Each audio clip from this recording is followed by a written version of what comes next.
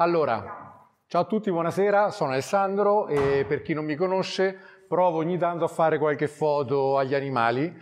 Di sicuro qui dal punto di vista tecnico siete decisamente migliori di me. Io uso un'impostazione per le mie foto che è sempre quella massima apertura, ISO automatici e regolo la velocità.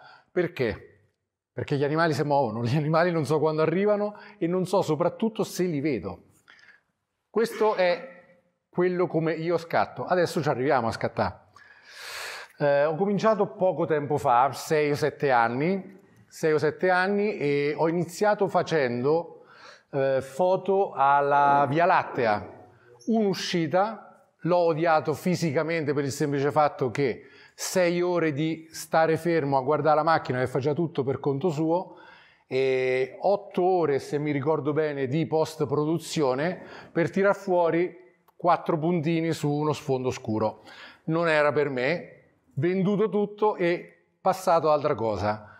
Provato a fare street photography, non era per me assolutamente perché decisamente eh, uno non mi trovo tanto a mio agio andare a chiedere alle persone il permesso di, farle, di fotografarle, di, ciao, buonasera, di eh, poterle pubblicare volendo sui social e via scorrendo, rimaneva solo i gli animali. I paesaggi neanche tanto per lo stesso problema, per me, del, ehm, del fatto di eh, troppo statico. Sì, sì, la camminata per arrivare, ma alla fine stai lì, fai una foto e potrebbe anche essere sufficiente. Un giorno sono andato a, Torino, mi sembra, a trovare dei parenti, eh, parco il Valentino, faccio la foto uno scoiattolo e da lì non ho fatto altro, solo esclusivamente animali. Premessa doverosa, per fare fotografia naturalistica bisogna camminare, bisogna caricarsi chili e chili di attrezzatura e sperare di vedere questi famigerati soggetti. Eh, le zone, adesso ah, siamo tutti, ci sta pure Peppe. Ciao. Ciao. Ciao. In Italia potrebbe sembrare facile fotografare gli animali, non è così ho avuto la fortuna di andare a fare un safari in Sudafrica, immaginatevi in una settimana più di 15.000 foto, di cui la prima è stata un leopardo, la seconda, la seconda il leone e poi giraffe e tutto il resto. In Italia andare a trovare gli animali è veramente complicato.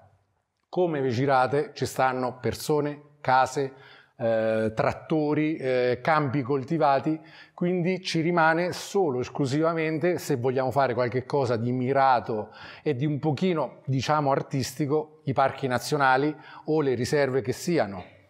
Dalle zone nostre il Bicco, il Montebove per i camosci è il massimo e ve lo posso dire perché ho fatto chilometri e chilometri su tutte le Alpi e dei camosci ne avrò visti tre. Qui da noi ci dormi praticamente in mezzo ed è, è bello, eh, è bello proprio perché anche se eh, da noi l'antropizzazione è abbastanza forte, soprattutto sui sibillini, non si sa per quale motivo sono davvero tranquilli e si possono fotografare anche, ve li faccio vedere anche molto da vicino. Qui, per carità, io ho un 500, ma qui stiamo a 15 metri di distanza, lui sta lì tranquillo, si fa la sua vita senza nessun tipo di problema. Eh, le, se vado a zoomare, queste sono foto preparate per i social, quindi sono eh, molto compresse 1350 pixel, quindi se io vado a ingrandire vedrete sgranato. Ci arriveremo. Allora, innanzitutto dobbiamo capire che il soggetto, prima di fotografarlo, come dicevo, va trovato. Per trovarlo come facciamo? Dobbiamo studiarlo Sfortunatamente bisogna studiare tipo scuola. Quando si fotografa bene il cervo? Quando il camoscio? Dove? Perché in quel periodo e non in un altro? Cervo, andiamo a settembre giù in Abruzzo e li fotografiamo, come ho detto prima a chi c'era, a 10 metri, anzi sono loro che ti vengono incontro e li troviamo, eccoli qui, a un pochino ci arrivo. Qui stava tranquillamente fermo e ti guarda e aspetta quasi di essere fotografato, sta in posa, sta in posa durante il bramito. Situazioni particolari si trovano in posti particolari. Per trovare posti particolari bisogna camminare. L'alzata presto, bisogna arrivare prima dell'alba, posizionarsi. Sfortunatamente in determinati posti, l'Abruzzo in, in alcune zone, tutto l'arco alpino, senza esclusione, bisogna fare l'appostamento. Ti siedi, ti copri con la rete mimetica, mimetizzato tu al massimo. Eh, da amici che lo fanno anche per lavoro, eh, l'importante è non tanto essere vestiti mimetici quanto scuri e l'importante è coprire faccia e mani perché sono bianche e l'animale ti vede, qualsiasi tipo di animale, capriolo, camoscio, eh, vede il bianco e viene attirato da quella zona e si, e si allarma più o meno. Ripeto, lo stambecco e il camoscio sono molto più permissivi, il cervo in determinate zone Fate il cervo nel, nei sibillini. Io in sette anni non l'ho fotografato mai, mai, mai, mai. Lui ci è riuscito, non so come ha fatto, però io in sette anni non l'ho mai fotografato. In Abruzzo ti ritrovi così, però vai a fotografare il eh, cervo su, sulle Alpi, complicato anche lì, bisogna appostarsi. Come ci appostiamo? Eh, allora, um, la, la, cosa di massima è stare il più possibile ai bordi delle radure. Gli animali escono dal bosco perché si sentono sicuri, vanno nelle radure, mangiano e se la tengono sempre alle spalle per avere la sicurezza che dietro è da dove sono venuti e non c'è nessuno che li può attaccare. Tu ti devi mettere sfortunatamente davanti, eh, possibilmente controvento e controsole Sembrerà strano, uh, a un caro amico uh, non, non, riesce a fotografare l'aquila perché l'aquila lo vede attraverso l'obiettivo, vede l'occhio attraverso l'obiettivo e quindi l'aquila gli scappa via. Sono sei anni che sta cercando di fotografare l'aquila e ogni volta, lui sa dove sta il, il uh, nido, deve mettere obbligatoriamente una copertura davanti all'obiettivo quando è in posizione, apre l'obiettivo, scatta e richiude, perché se no lo vede e scappa via e non ritorna. Questa è l'aquila, l'aquila è un soggetto complicato. Io in sette anni che faccio questo mestiere, lavoro, questo hobby, il lupo non l'ho mai cercato, ma ho sempre sperato di vederlo. L'ho fotografato quest'anno una volta, in sette anni che faccio uscite più o meno settimanali, anche più volte a settimana. Se amici zoologi eh, gli dico mi porti con te a fotografare il lupo, lui mi risponde, ed è uno di Tolentino che vive in Abruzzo, sicuramente lo conoscete, Paolo Forconi, mi dice io non faccio appostamento per il lupo perché il lupo, detto delicatamente, va a culo. Cioè il lupo se vuole ti vede e ti sente a chilometri di distanza. Io l'ho fotografato a 300 metri, spero di trovarlo velocemente, ma eccolo qua. Ce n'erano 5 in quel giorno, eh, di fronte a me ce n'erano cinque che ululavano ad un altro branco di lupi dalla parte opposta della valle. È stata lì mezz'ora, sono stati lì mezz'ora, una cosa incredibile, mai più visti. Quel giorno, dopo sette anni, si sono fatti vedere e io mi reputo in determinate situazioni fortunato. 15 volte in Abruzzo per fare l'orso, l'ho visto 10 volte, ma 10 volte da qui a 15 metri quindi eh, mi reputo da questo punto di vista fortunato, so dove andare a cercare gli animali, quali periodi andare, eppure per lupo, orso, anche il camoscio in Abruzzo è abbastanza complicato a meno che non si va in determinati periodi, se comunque anche sapendolo la, um, diciamo, la difficoltà a trovarlo effettivamente c'è e ci sta sempre. Vado sui Sivillini da mm, sette anni, so dove stanno, ma lo so al centimetro. Negli ultimi sette mesi li ho visti due volte e so che stanno lì, solo che eh, la neve e i lavori della, dell'acquedotto che stanno rifacendo, passo cattivo, c'è un gruppo di 50 camosci, negli ultimi sei mesi l'ho visti una volta, tu c'eri mi sembra, e c'era, è stato quel periodo di novembre che c'era la neve, eravamo io e lui, fine, con 15-20 cm di neve e sti camosci che si sono degnati e farsi vedere. Il problema nostro di eh, fotografi, chiamiamoci, è che eh, dobbiamo necessariamente conoscere, come dicevo, e avere la pazienza e la perseveranza, perché stare lì 10 minuti puoi essere la persona più fortunata del mondo e riesci a scattare se no ci vogliono, non dico mesi, non dico anni, ma settimane su settimane, conoscendo dove trovarli. E ve lo dico perché l'ho fatto sulla mia pelle.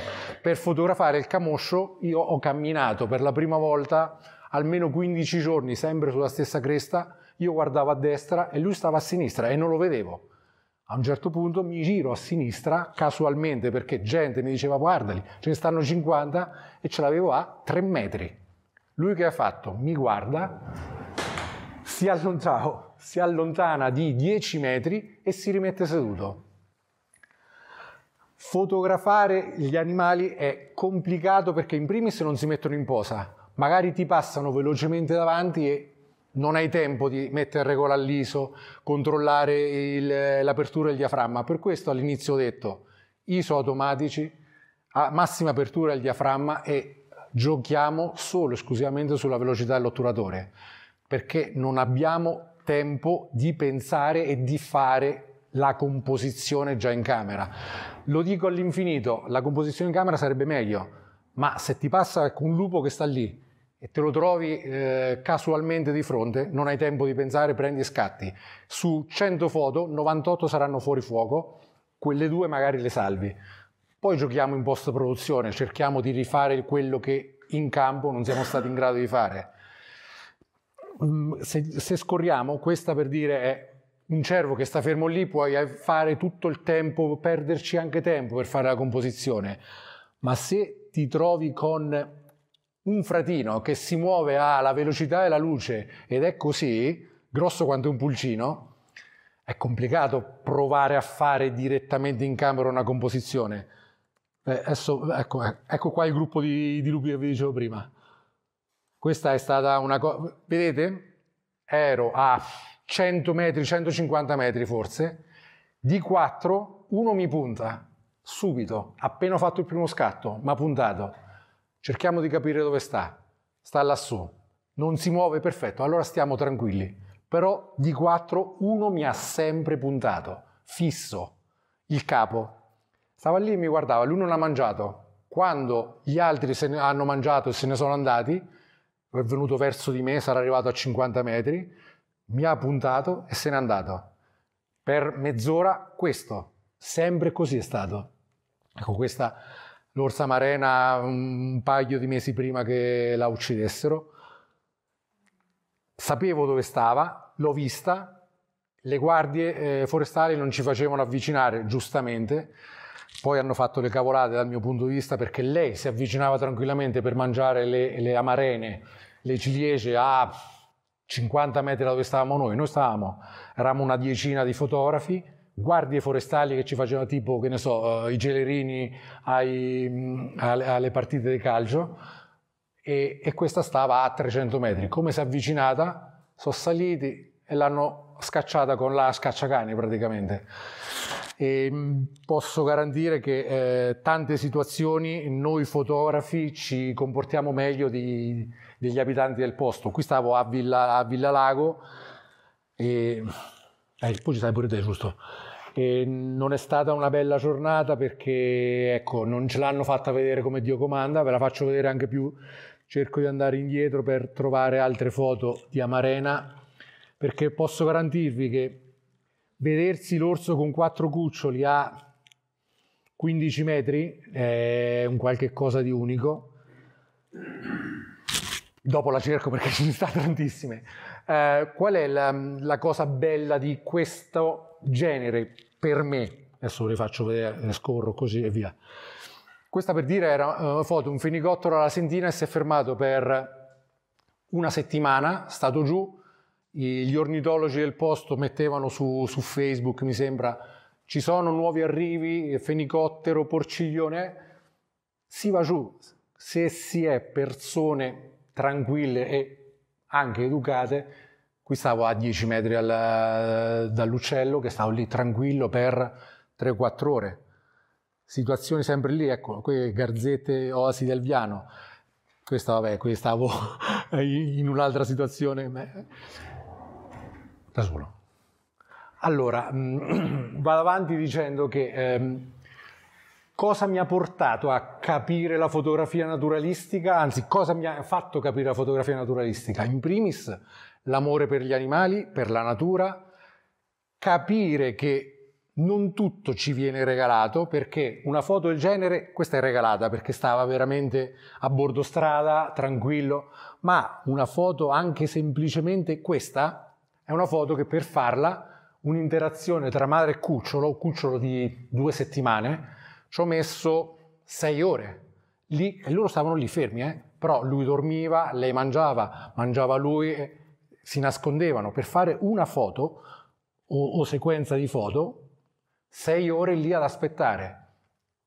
Io non sono assolutamente paziente, assolutamente. Per fare questa tipologia di foto bisogna essere, oltre che pazienti, perseveranti, tornare sullo stesso posto 10-20 volte, anche avendo fatto... Io se vado a fare i camosci non faccio, avrò 50.000 foto di camosci. Ci vado nella speranza di fare foto che non ho fatto. Ed è complicato fare foto che non hai fatto sempre sullo stesso posto ci si riesce? No, non ci si riesce perché è complicato, bisogna aspettare veramente dei momenti particolari di luce, di situazioni, interazione. Siamo, eh, non, so, non, non, mi ricordo se c'eri te, eh, situazione di camosci altissimi, erano non fotografabili, a un certo punto se ne vedono due che cominciano dal Monte Bove, dalla Monte Bove Sud, quindi da 2002, partono, si rincorrono, arrivano fino praticamente a Vallinfante, alla, alla piana Vallinfante di corsa, per quanto puoi essere veloce e rapido, eh, gli corri dietro e fai forse una foto sfocata oppure mezza testa, la coda.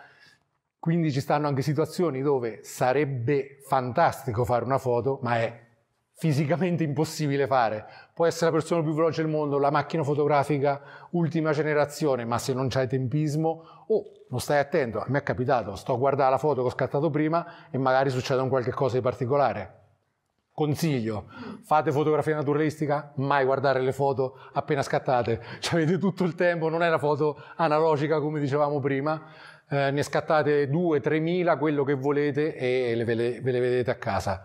Solitamente io su un'uscita all'inizio facevo 3.000 foto ad uscita, adesso sono arrivato a farne massimo 50, di quelle 50 ne salvo 3, forse, di quelle 3 ne post produco una. Attrezzatura, non attrezzatura, sì, l'attrezzatura serve, è importante soprattutto per noi, macchina fotografica veloce, megapixel quanti ne volete, ma mm, non è quello. L'importante e la cosa fondamentale è avere più millimetri possibile. Più millimetri possibile, più costi che vengono su, a gravare sulle nostre tasche.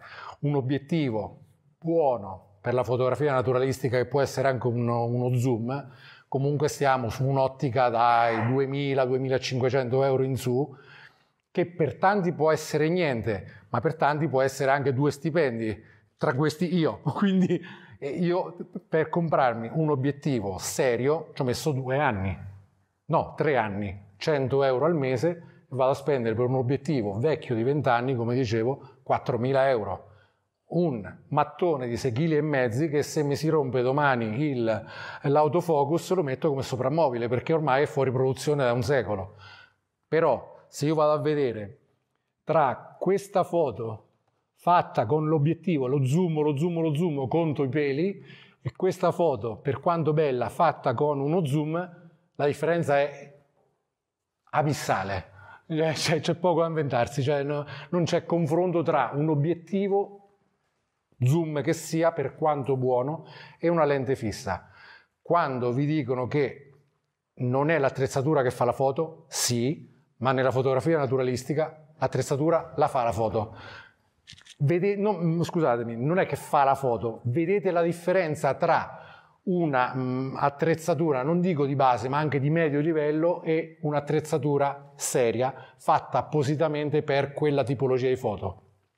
Esempio, l'anno scorso in uh, Gran Paradiso, uh, tre giorni sotto la neve a meno 20, la macchina fotografica in, intatta senza nessun tipo di problema, l'obiettivo bagnato, zuppo, tutto quello che volete, uh, tornavo a casa appoggiato sopra al, al letto, mai sopra i termosifoni, eh, sopra il letto si asciuga in tre ore e l'obiettivo era perfetto, compagni, amici miei che stavano lì, eh, ci hanno avuto problemi di eh, ghiaccio, eh, mu- no muffa, condensa e cose problematiche che poi vi portano a non poter scattare. Adesso non dico che dovete andare a comprare forza un 500 F4, però, ripeto, per a me è capitato, e eh, lo, lo posso dire sulla mia pelle, se si vuole fare in questo ramo fotografico quel salto, quel salto ve lo fa fare l'attrezzatura in, in determinate situazioni. E poi, è brutto da dire, però la post-produzione.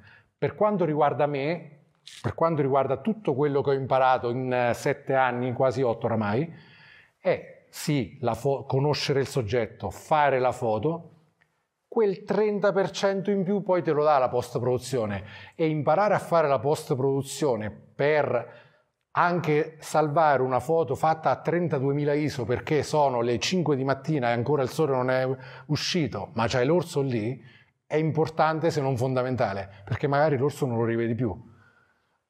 Quindi è veramente, cioè se io non avessi conosciuto un pochino di post produzione, la foto dei lupi era inutile farla, lontanissimi. Se la vedete bene anche fuori fuoco, perché comunque sta, sta a 200 metri. Eh, non ho una mirrorless, ho una Canon, quindi Canon va male dal punto di vista dell'autofocus. eh, Canon 5D4, per quanto possa essere attento, è basta sbagliare di un metro a 200 metri di distanza, comunque la foto la sbagli. Per, per il mio standard di foto. Ripeto, su 500 foto ne salvo 5 quando è tante. E infatti questa ragazza mia mi dice, ma tu vai a fare 500 foto e ne salvi uno, ah che ci vai a fare? Va a fare le foto a quelli in posa, mi dice, qua quante volte? Eh, non è così semplice far capire quanto può essere bello fare per me 20 km, 3 foto, tornare a casa con quelle 3 foto, ma hai fatto 20 km, 20 kg di zaino sulle spalle, magari stavi a 3200 metri su al Gran Paradiso, vedi tutto, stai da solo, perché io vado da solo nel 90% dei casi, magari non è proprio il massimo, però vado da solo, vado con i miei tempi, sia dal punto di vista della velocità del, quando cammino, come e dove mi, mi apposto. È più facile stare in silenzio, anche perché per quanto possa essere, vai in due, scambi due chiacchiere, vuoi fare il lupo? Lascia perdere, eh, eh, hai già perso quando sei sceso dalla macchina se vuoi fotografare il lupo. Vuoi fotografare l'orso? Può andare bene perché oltre ad essere completamente cieco quasi, diciamo, mh, mm, non gli danno fastidio tanto i rumori, basta che non siano rumori eh, improvvisi. Come sai questo? Ho studiato. Ho chiesto ad amici che hanno eh, zoologi, eh, comprato libri di... fatto danni? No? Comprato libri di eh, animali specifici per eh, il lupo, per l'orso, per la bifana. Conoscere gli uccelli è importantissimo. Io per dire non li conosco, sì e no, il fenicottero, garzetta e airone me li intreccio sempre, sono identici, sono bianchi, uno c'ha il becco nero, uno c'ha il becco giallo, ma se stai lì scatti, non pensi al becco nero, becco giallo, pensi a scattare. Però ecco, il, ecco questa è l'oasi di Alviano, forse il primo giorno che sono andato a fare le foto di fotografia naturalistica. Ve lo me lo ricordo pure perché è il compleanno di mio padre. 28 gennaio 2017. Quel giorno le prime foto di fotografia. C'erano, esagero, 300 aironi. Ci sono ritornato mille volte su quell'oasi. Quello è stato l'unico giorno che c'erano così tanti uccelli lì così tanti soggetti, una cosa indescrivibile. Moriglioni, garzette, cascate. Io vi parlo di Alpi, vi parlo di, Appen- vi parlo di Sibillini, vi parlo di Abruzzo, posso parlarvi del Sudafrica e vi posso garantire anche che tantissime foto le ho fatte dal terrazzo di casa durante il Covid, dal terrazzo di casa Pogliana a 100 metri, a 100 metri di fronte a me gli animali, se vogliamo e se stiamo attenti, li troviamo dappertutto. Certo, non trovo l'orso qui, non ci trovo il leone, ma dal punto di vista dell'avifauna più o meno ci troviamo quasi tutto. Sembrerà stupido da dire, ma fotografare bene un pettirosso non è così semplice. Il pettirosso è un soggetto semplicissimo da fotografare. Non so se ce l'ho qui sparso. Questa è sui Sibillini. L'anno scorso eh, c'erano meno 10 gradi e mezzo metro di neve. Stavo da solo, l'unica foto che sono riuscito a fare, perché stavano lontani, la nebbia arrivava e andava via, li copriva. E anche questo, magari eh, se fai fotografia astronomica non parti neanche se, se, è nuvoloso. Quando è brutto tempo, io parto perché sono sicuro che c'è meno gente.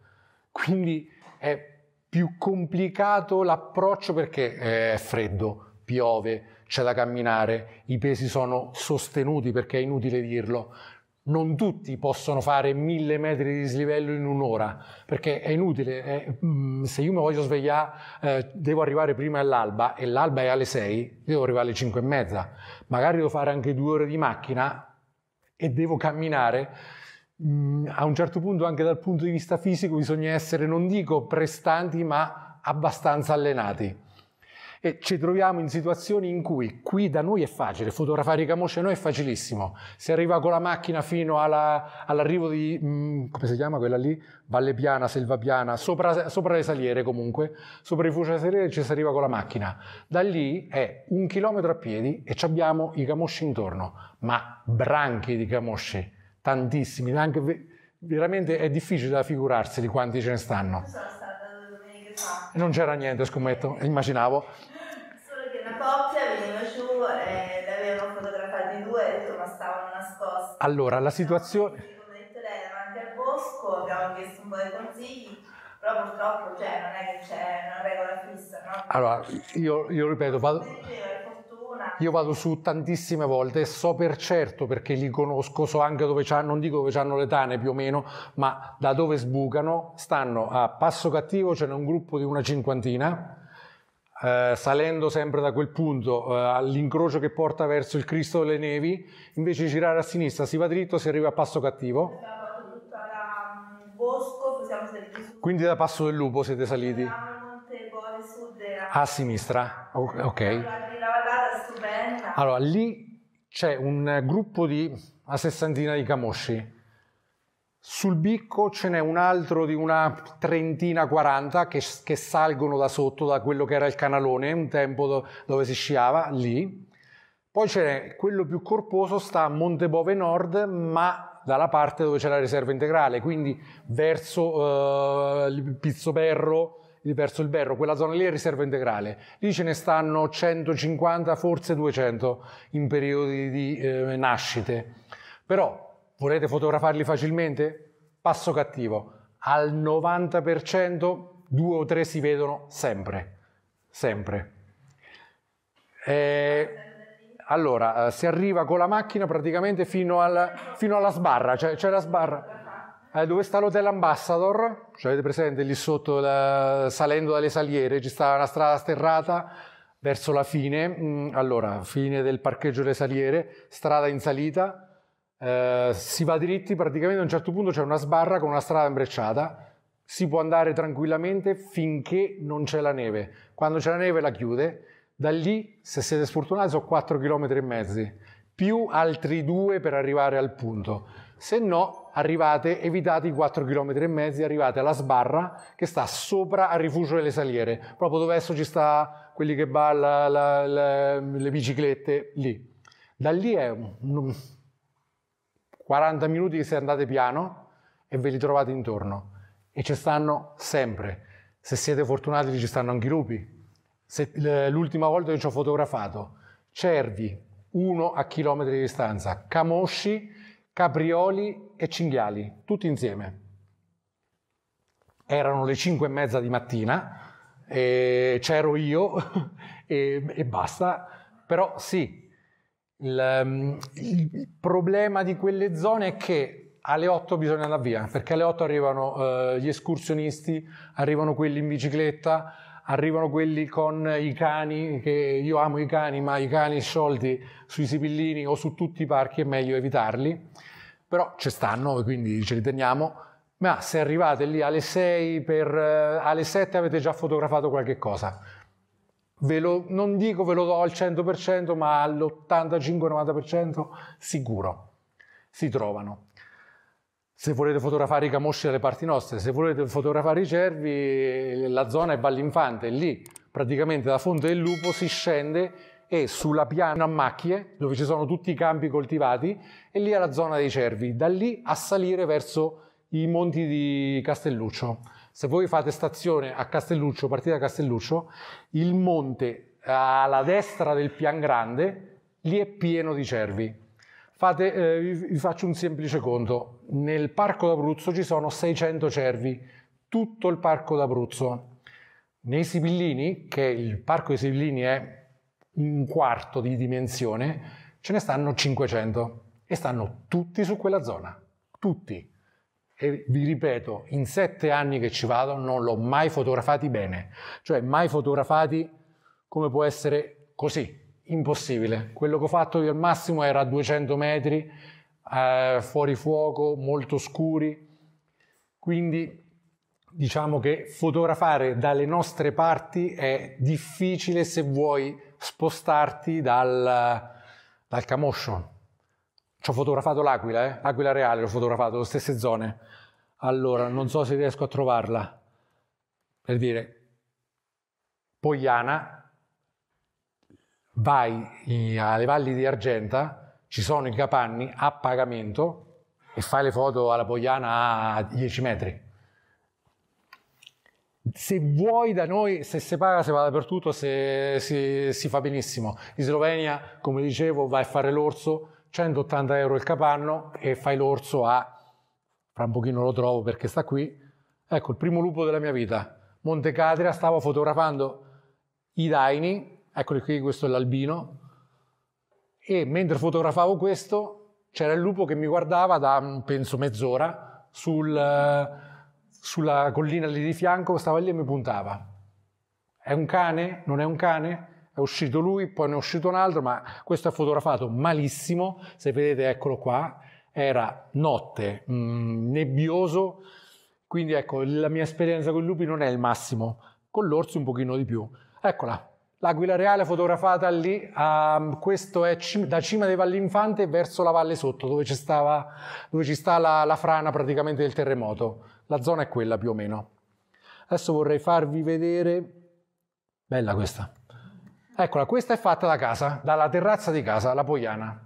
Dalla terrazza di casa. Stava, è stata lì mezz'ora da, dal soggiorno, vado in camera, prendo l'obiettivo, lo monto, tre piedi per fare tutto preciso non ha fatto una piega, è stata lì tranquillissima, eccola qua, Pogliana, cervo. Vogliamo fotografare i grifoni? Bellissimo, venite con me e lì è sicuro al 100%, è sicuro. Eh, Petrella Liri è un paesino subito fuori dal mm, Parco Nazionale d'Abruzzo, salita di 500 metri di dislivello, parete rocciosa, ci si appoggia e abbiamo il nido sopra 3 metri e questi veleggiano tranquillamente tra, è neanche complicato perché escono a mezzogiorno. Quando comincia a essere caldo, questi sono veleggiatori, sfruttano esclusivamente il, le correnti ascensionali. Non li vedrete mai battere le ali se non in fase di partenza o atterraggio. Stanno così tranquilli, enormi, 3 metri di apertura alare. Io la prima volta che li ho sentiti stavo salendo, ho sentito a un certo punto un e arriva questa ombra enorme che si nasconde su una cavità di roccia. C'era il nido, ho, visto, ho fotografato, però non so se ce l'ho qui, il cucciolo, cucciolo, il pullo. Allora, dovrei invece adesso, del, eh, guardate qui l'area, questa è bellissima, me la ricordo ancora, era non quest'anno, l'anno scorso, eh, maschio, eh, ha fatto tutti i suoi doveri da maschio e sta lì a riposarsi con tutte le femmine, il suo harem lì dietro. Considerate, lo stavo dicendo prima, che questa foto non vedete eh, gli altri fotografi, ma mediamente in quel periodo, in quella zona, tra i 50 e i 70 fotografi ci stanno sempre ogni giorno. Ogni giorno. Troverete in Abruzzo, eh, se volete vi dico anche la, la, via dove stanno, perché ce ne, ce ne, io ce ne ho fotografate sei contemporaneamente, E le volpi qui a bordo strada stanno lì tranquilli, aspettano che gli dai da mangiare, se gli si dà da mangiare spuntano come eh, i cosi, come eh, come si, chiama, come i funghi, le guardie forestali fanno 200 euro di multa, quindi non date mai da mangiare agli animali in Abruzzo, mai. Questa sembra che sta sognante, c'era una persona che gli stava dando da mangiare e io fotogra- l'ho fotografata, però qui non si vede ma c'era la mano della persona. Questo sembrerebbe uno scoiattolo, ma questo è un rampichino. Praticamente è una crocchietto così piccolo che eh, lui non vola, parte da terra e si arrampica sugli alberi. È anche complicato da vedere perché si mimetizza abbastanza, ancora grifone. Ecco, queste è quelle che dico le foto particolari. Simmetria centrale, eh, il cervo che ti guarda nell'obiettivo, ti fissa. È una foto semplicissima ma non me la ricordo un'altra foto che ho fatto così di, diretta. Bramito, bramito, bella questa pure. Eccoli qua, mufloni sul Monte Catria.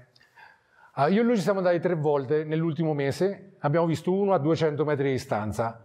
L'anno prima, eh, rifugio Cotaline dove si scia a Monte Catria, si parcheggia al rifugio, si scende 100 metri, ci si siede a 15 metri, due, due mufloni che si divertono, ti guardano, eh, questo è l'orso, già un pochino diverso. Allora, io sono andato in Abruzzo la prima volta in assoluto maggio 2017 e maggio 2017, ciao, il mh, mm, primo giorno che, che siamo saliti in quota Dopo mezz'ora di camminata, il primo animale che vedo è stato l'orso. Considerate che io ho iniziato a fare questo genere fotografico per fotografare l'orso. Fatto quello, posso anche fermarmi e vado a casa. In 10-15 eh, volte, che, come dicevo, che ho fatto le uscite mirate per l'orso, l'ho, mm, l'ho sempre visto. L'ho visto da lontano, l'ho visto da vicino, l'ho visto con i cuccioli, tipo qui senza cuccioli, qui aveva all'occo degli Urali, Daini, Daini per dire sono arrivato a Foreste Casentinesi, zona del Forlivese, i Daini stanno sul Monte Catria, i Daini stanno a Cingoli, sopra il lago. Questa è fatta eh, sul lago di Cingoli. Sul lago di Cingoli, se, se riesco a trovarla, eh, eccola qui. Dietro quell'albero c'è il lago di Cingoli. Io non lo sapevo, me l'ha detto lui. Andiamo su a fotografare i, i, i daini, eccoli qui. Daino uh, melanico, nero, c'è anche quello albino bianco, non sta lì, l'ho fotografato sul Catria. Questi sono due maschi, eh, quello di sinistra è il giovane, quello di destra perché? Perché più si invecchiano più diventano scuri. Quindi è questo voglio farvi vedere se riesco a trovare la foto con Amarena e i quattro cuccioli, fotografata nel 2020. Allora, per dire, andiamo a Senigallia, a spiaggia di Senigallia, di fronte all'Hotel Diana, voi dite, come fai a saperlo? Perché ci ho fatto la spola tra Ancona, Ancona, e Fano di tutte le spiagge in uh, tutti i periodi dell'anno per cercare questo accrocchietto che è un pulcino colorato. Questo è il fratino, mm, eh, soggetto molt, non dico raro perché lì ce ne stanno veramente tanti, ma è, è minacciato dal, dal fatto che lui depone le uova sulla spiaggia. Sulla spiaggia, io l'ho fotografato in mezzo alle persone che prendevano il sole a luglio. Ripeto, è un, è un pulcino, se riesco a trovarla ho la foto del pullo, che è praticamente una cosa di questo tipo. È praticamente invisibile. La devo trovare per forza. Ci siamo quasi, Cavalieri d'Italia. Se vedete i Cavalieri d'Italia, sappiate che su quel lago non c'è nient'altro che Cavalieri d'Italia, perché i Cavalieri d'Italia sono molto territoriali, molto mh, mm, eh, prepotenti, diciamo. Tutto quello che c'è che siano spatole che sono quattro volte più grandi, aironi, eh, garzette, eh, mestoloni, tutto quello che volete. Come arriva il Cavaliere d'Italia? Scompare tutto perché loro vanno a beccare le uova del, diciamo, di, degli altri frequentatori del, del, lago e quindi troverete solo i Cavalieri d'Italia, che tra parentesi è anche carino eh, come soggetto. Dove sta? Questa è la rondine. Avete vista mai la rondine? Eh. Eh, la rondine non è bianca e nera come sembra, è rossa, blu, ha sfumature blu sulle, su, sulle ali, quella dietro si vedono ancora meglio le sfumature questo è il, gruccio, gruccioni, volete fotografare i gruccioni? Questo è un, soggetto, è un um, animale prettamente uh, estivo da noi, arriva a metà, metà fine aprile e va via a fine agosto, coloratissimo, africano. Lo trovate sotto il ponte di Villa Potenza, il ponte nuovo, quello bianco, lì c'è il fiume Potenza con le pareti sabbiose e loro vanno a creare il nido lì scavano, vedete tutti i buchi e ci trovate il gruccione, sono bellissimi. Capriolo fotografato sopra a fiastra, l'upupa giù alla sentina. L'upupa, altro soggetto che dalle nostre parti è molto comune, l'ho fotografato una volta sola. Se conoscete zone dove ci sono eh, ulivi secchi o comunque zone di ulivi non, non in sulle colline, ma un pochino verso la pianura, lì è il posto loro. L'upupa sta fissa lì. Beccaccino, questo dovrebbe essere il totano, questo dovrebbe essere più o. Voglio trovarvi il, eh, questo è il porciglione bellissimo, l'upupa di nuovo. Questo è fatti su qualcosa, sui laghi di Boccafornace. Ci dovrebbe, ci dovrebbe essere anche il cigno nero, dovrei averci da qualche parte. Cosa? Cigno nero. Eh, questa qui invece l'avete vista mai?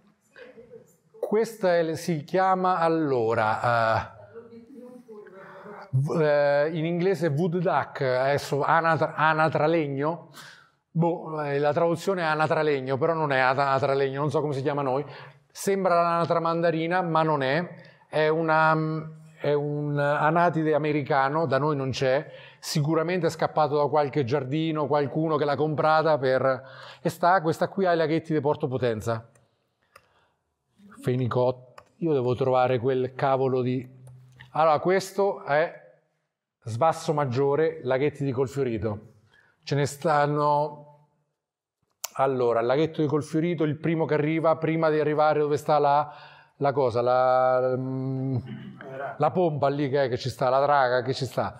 Ci stanno due o tre laghetti prima dove è possibile arrivare vicino al, all'acqua, diciamo, e ci stanno quando c'è l'acqua gli sbassi, che sono bellissimi, sono bellissimi in questo periodo perché fanno la danza dell'amore, è il periodo dell'amore. Praticamente vedete maschio e femmina che eh, si eh, alzano in piedi e nuotano solo con le, mm, le, le zampe, ma stanno tutti fuori e, e nuotano in, in parallelo la danza della qui è rovinata, la foto, vabbè, andiamo avanti, altri podi.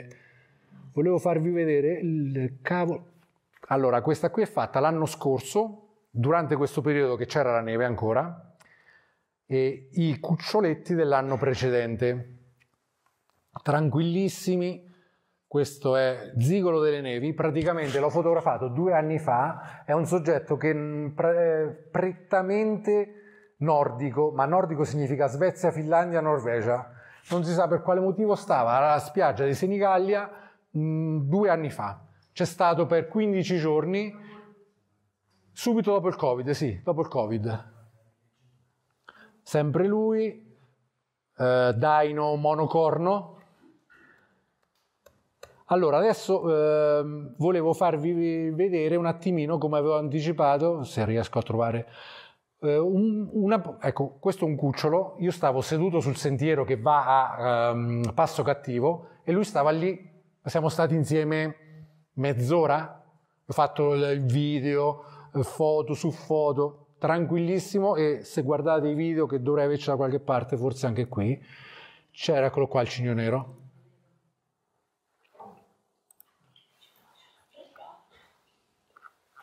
Dovrei averci qui il il video con sti cosi che si muovono, vediamo se li trovo.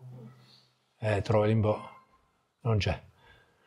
Allora, questo l'ho fatto l'anno scorso a Gran Paradiso, qui c'era meno 20 e è stata una bella passeggiata, nel senso se conoscete un pochino la zona di Cogne, qui stavo uh, a mezzo chilometro a Rifugio Sella. Rifugio Sella sta a 2400 metri di quota e Cogne sta a ehm, 1004, quindi era a 1000 metri di dislivello con la neve al ginocchio. Non è tanto la neve al ginocchio, si va con le ciaspole, è meno 20, nevicava un pochino, 20 kg sullo zaino e stai praticamente sul bordo del, comunque dei dirupi.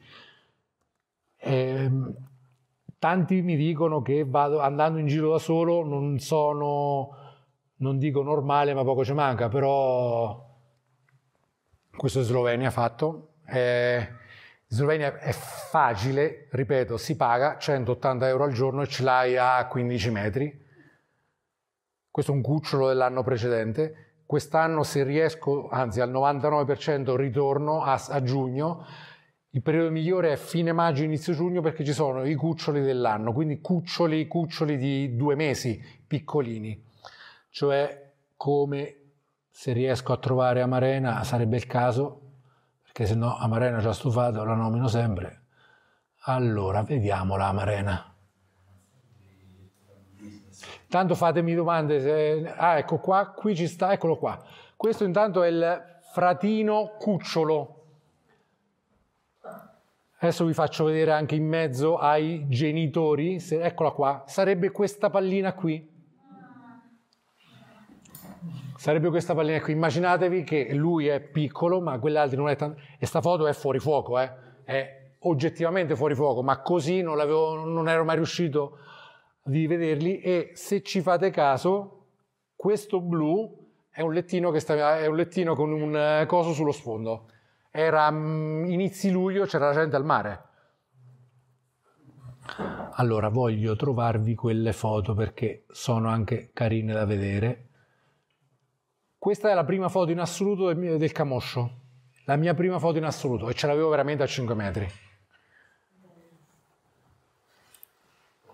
chiudiamo anche questa non è quella che voglio farvi vedere ma qui stava tornando eh, erano le l'ho vista per tre giorni di fila e arrivava sembrava un orologio svizzero. Alle 5 di mattina arrivava alle 7 andava via.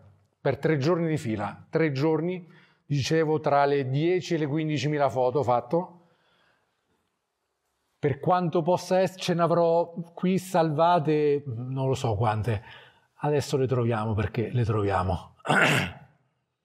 allora, adesso parliamo anche di post-produzione. Questa, secondo voi, quanti ISO è? La zoomo per farvi vedere meglio.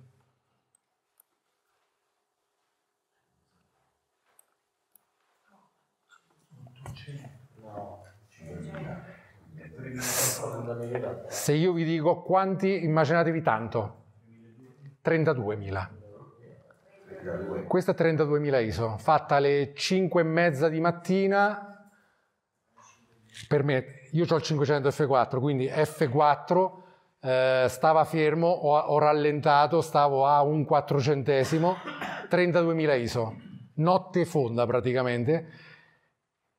Quando conosci un pochino um, uno schema di eh, una sequenza di post produzione e c'hai il programma di post produzione che ti dà la riduzione del rumore come Cristo comanda, perché ci vuole anche quello, è inutile girarci intorno, se riesci a recuperare qualsiasi cosa. Quindi quando sento la gente dice non alziamo gli ISO, si può fare. Allora, certo, se fosse stata a 100 ISO sarebbe stata meglio, ma a 100 ISO non l'avrei potuta scattare questa, se mi ricordo bene, è 6004, eh, ma ho una foto fatta a 5000 ISO che sembra 10.000 volte peggio di quell'altra, perché lo ripeterò all'infinito, l'ISO fa un macello quando la, uh, c'è una cattiva luce, può stare pochissima luce, ma se è buona, comunque la foto non viene con un ISO rovinato. Con, cioè, gli ISO in quel caso, anche se sono 32.000,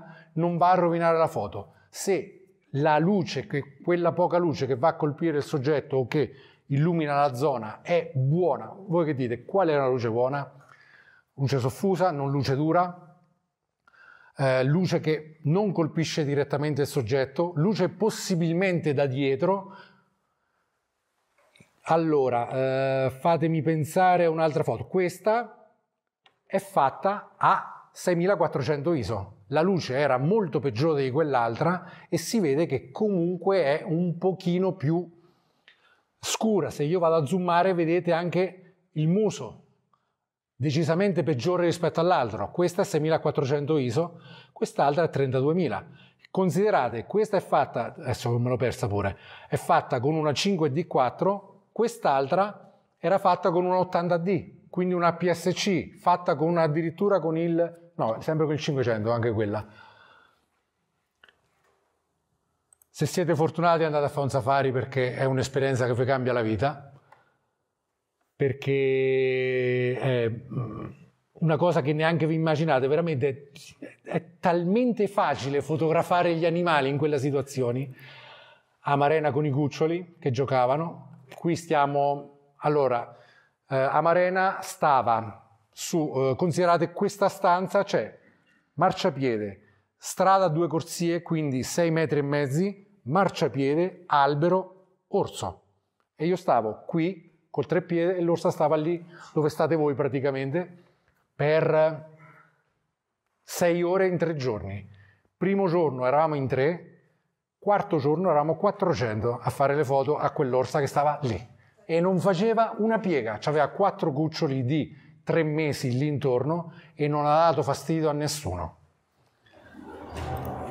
Allora andiamo avanti, voglio ritrovare tutti e quattro, questa, questa è una delle mie preferite.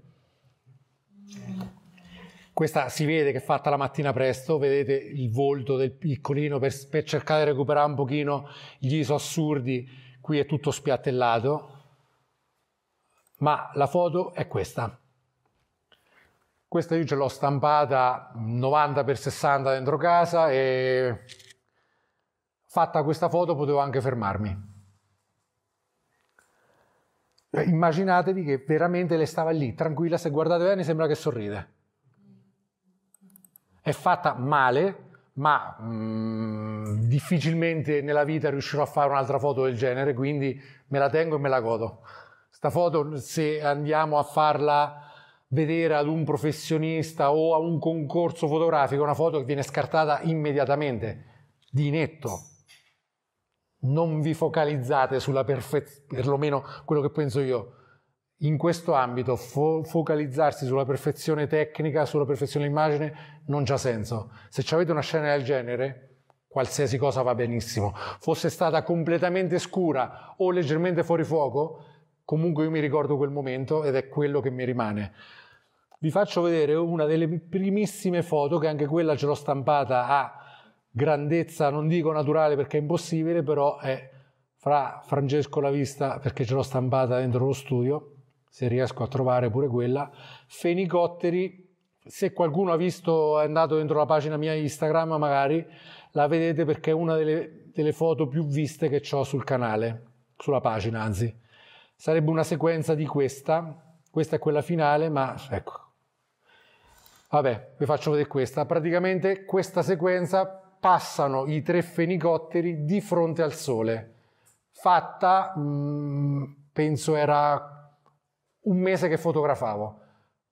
Zoom, zoom 70-300 Tamron con una 80D. Quindi se siete fortunati anche e siete eh, riusciti a prendere una situazione di, di tempismo, riuscite a fare anche foto discrete con con eh, macchine fotografiche entry level, vorrei trovare quell'altra ma è veramente complicato. Allora facciamo una cosa adesso, eh, ci divertiamo un attimino, vi faccio vedere una post produzione velocissima di come io faccio la post produzione, perché come dicevo faccio post produzione durata massima 5 minuti. Se più di 5 minuti ho sbagliato la foto, quindi la, la cestino. Allora prendo queste foto che ho fatto in Slovenia un paio di anni fa a caso, ne prendiamo una a caso. Scusate, il computer ha la sua età, ma allora, via, partiamo da qui, vediamo quello che, che tiriamo fuori. Va bene. Sì, ciao. Allora, naturalmente questo è un RAW, andiamo a vedere 5D Mark IV, ISO 250 F4, vabbè, qui stava un 5 centesimo, la luce era buona, pochissimi ISO bassissimi, quindi ci siamo. Allora, naturalmente qui ci troviamo in una situazione molto particolare, capanno, eh, treppiede, situazione anche di tranquillità perché l'orso è tranquillo, non si muove, sta lì, mangia, quindi si può fare quasi una post produzione, eh, scusate, una composizione già precisa in camera, cosa che naturalmente non ho fatto perché non so così bravo. Allora, quando faccio la post produzione, camera raw, la prima cosa che vado a fare è semplicemente andare a uh, rendere il più neutra possibile la foto. Quindi profilo neutro e vado ad abbassare i contrasti. Solitamente sono questi gli, eh, come si chiama, i, i parametri che vado a toccare. Apro un pochino i neri e le ombre, adesso io lo faccio velocemente, però immaginatevi i, te- i tempi. Allora, vi spiego pure leggermente. Quando dal punto di vista della post-produzione fotografia naturalistica faccio questo passaggio è vado a rendere il più possibile neutra l'immagine, quindi abbasso le luci e i contrasti, devo allargare il più possibile il, l'istogramma per dargli il più ampio... Uh, la, la più ampia gamma, gamma tonale. Quindi vado a fare, se abbasso le luci, alzo le ombre, abbasso i bianchi, alzo i neri, vanno sempre in, eh, in accoppiata e possibilmente con lo stesso più o meno numero di eh, slider, diciamo, di, di parametro che vado a spostare. Abbasso leggermente la texture, che significa? che vado in maniera digitale ad ampliare leggerissimamente lo sfocato dello sfondo. Se lo vado ad esasperare, vedete come viene esasperato leggermente, soprattutto sull'albero, questo qui a sinistra si nota, ma pochissimo, 10, 12 massimo, e un colpo di chiarezza per andare a dare un piccolo microcontrasto. Gioco, gioco, vado a sistemare l'ottica, rimuovo l'aberrazione cromatica, l'ottica, il mio è vecchio ma è il Canon e lo trova, va a togliere un pochino di vignettatura, mi sposto su dettagli dove non tocco niente dal punto di vista della riduzione del rumore, anzi vado ad azzerare in questo caso il rumore cromatico e Qui su quello che è raggio e dettagli vado ad abbassare il raggio, alzo al massimo i dettagli che non va ad incidere su niente perché io vado poi a mascherare il soggetto. Come si maschera il soggetto? Penso che lo sapete, se non lo sapete si tiene premuto Alt e si scorre. Dove è bianco viene applicato, chiamiamolo il filtro, dove è nero non viene applicato. Quindi io vado a rendere più nitido il soggetto e non lo sfondo. Finito. Vado dentro, dentro oddio, dentro, fra un pochino lo dico, Photoshop e vado a fare una ricomposizione. Come ricompongo? Eh, va, faccio una porcata. Io solitamente faccio così, nel senso lui guarda verso destra, mi sposto verso sinistra, non l'ho potuto fare prima, cerco di ridare una sistemazione per quanto possibile e Photoshop mi aiuta, riempi. Questo naturalmente è quando l'immagine lo permette. Questa non è un'immagine che avrei post prodotto perché era troppo spostata sul centro che non mi permetteva di fare una post produzione mirata. Qui ha fatto un po' di porcate e vado con un po' di timbroclone a dargli un'aggiustata. Quindi così, uh, impossibile sì, ok, scusami, c'hai ragione.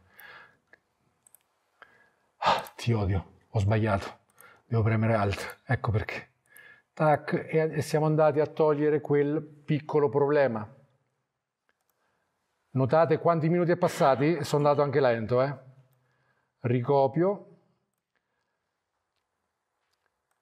metodo di fusione, luminosità, regolazioni, vado ad aggiustare ancora i valori tonali, cerco di ampliare ulteriormente il, la gamma tonale dell'immagine, quindi sempre premuto Alt, come diventa nero sto bruciando o eh, rendendo, eh, vis- cioè perdendo i neri, idem per, per le luci, come vedo le luci mi fermo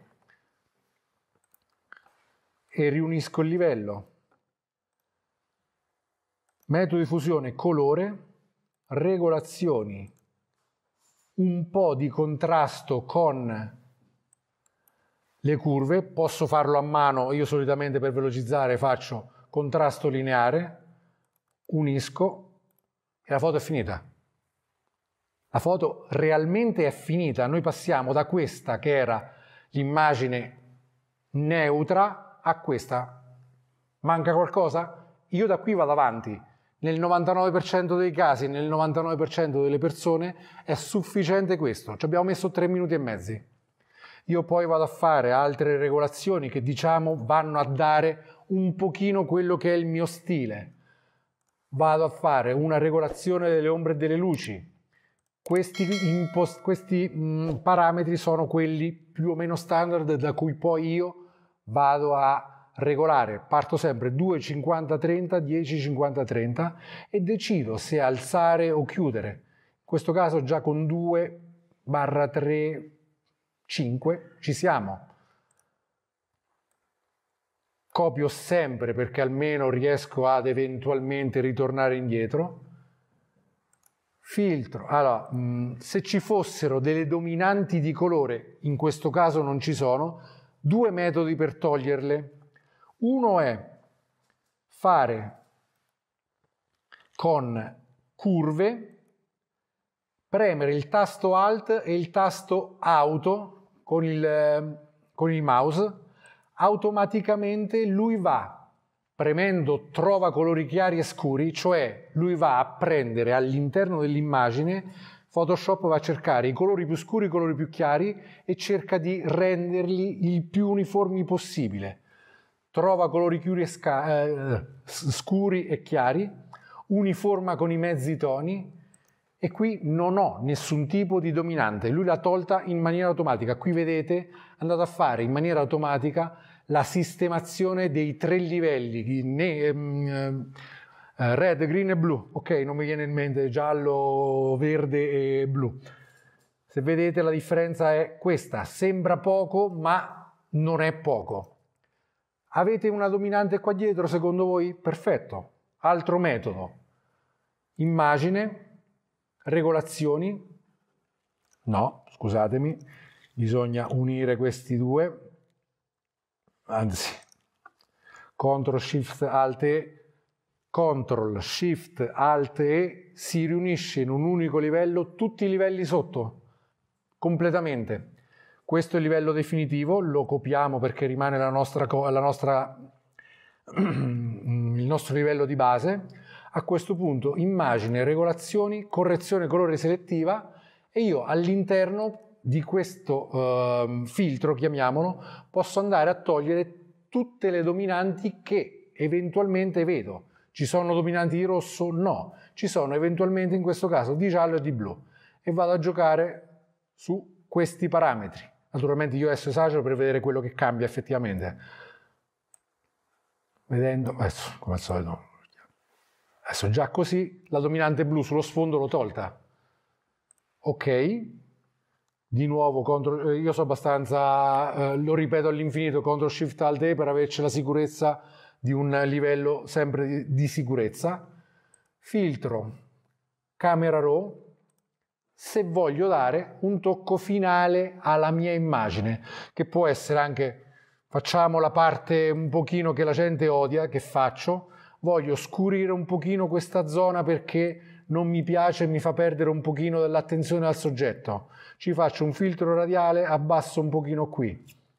Poi ci metto un nuovo filtro radiale per dare l'effetto di un eh, presenza di sole. Non esagerare, cioè non facciamo una cosa del genere, diamo proprio un accenno.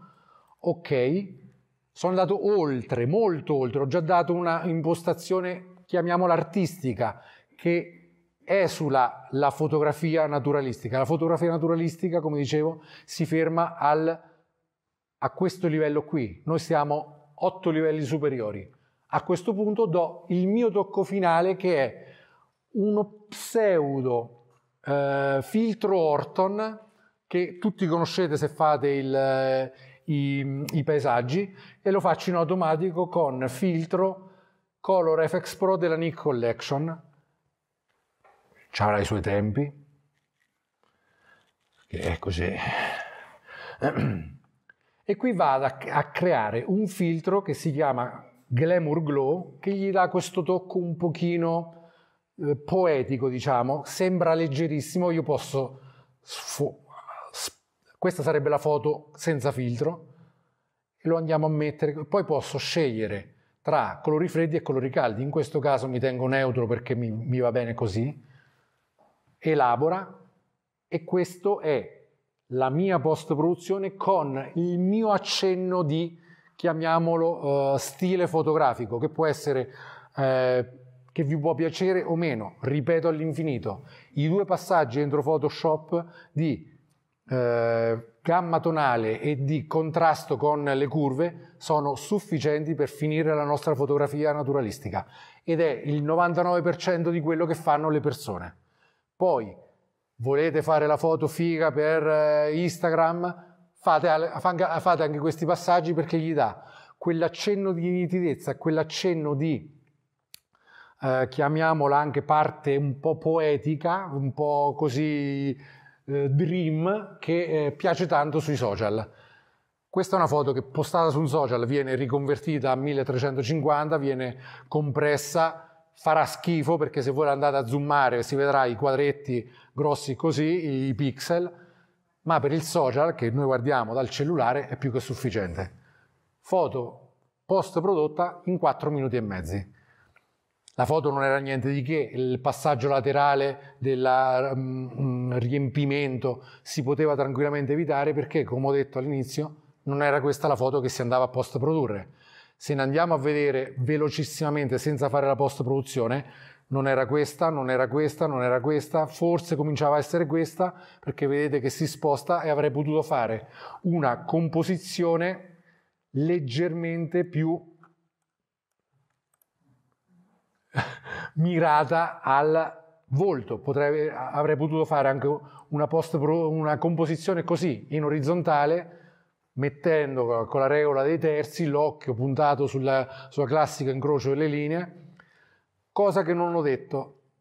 La composizione sì, va bene nella fotografia naturalistica, ma eh, regola dei terzi, eh, simmetria centrale, eh, linee che si intersecano verso il soggetto, fate una foto bella, fate un soggetto particolare, fate un momento particolare.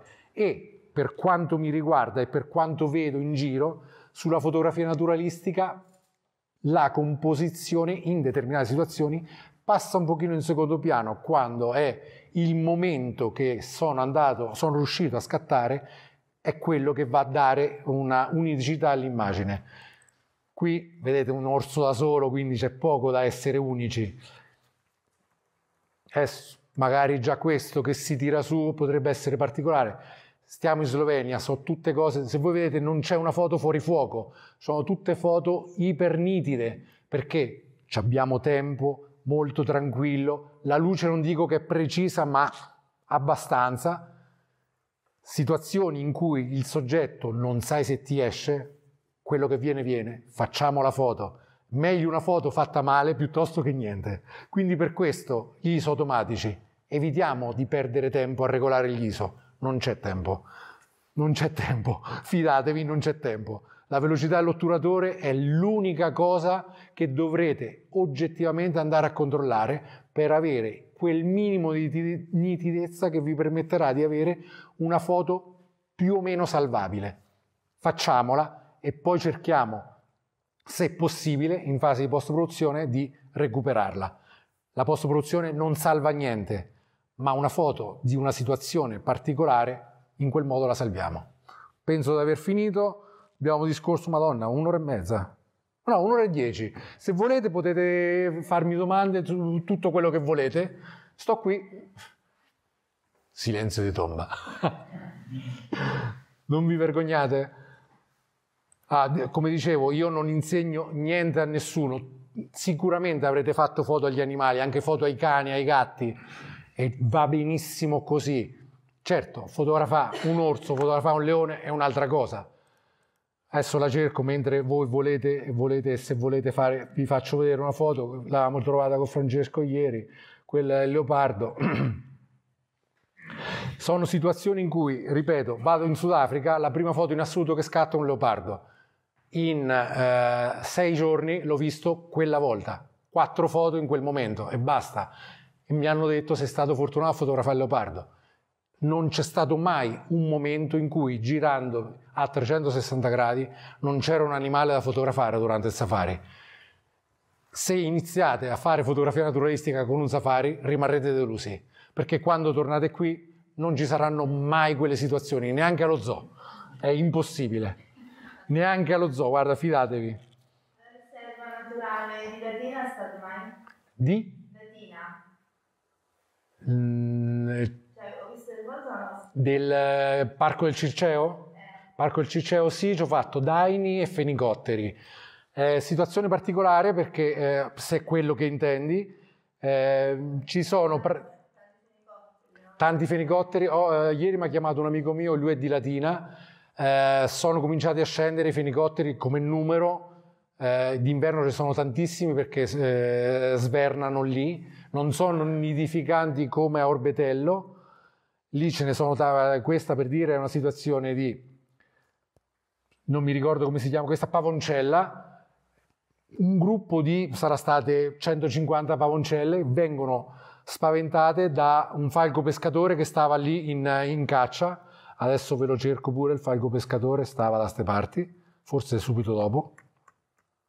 Eccolo qua, falco, coppia di falchi pescatori. Eh, non dico quasi impossibile da vederla, qui stavo all'oasi di Orbetello, femmina e maschio che stavano a caccia, eh, hanno girato per eh, 20 minuti l'unica foto fattibile e oggettivamente mh, editabile che ho fatto, ne avrò fatte 500 perché Falco Pescatore è la prima volta in assoluto che lo vedevo. Fenicotteri, per dire, lì si vedono facilmente, eccoli qua.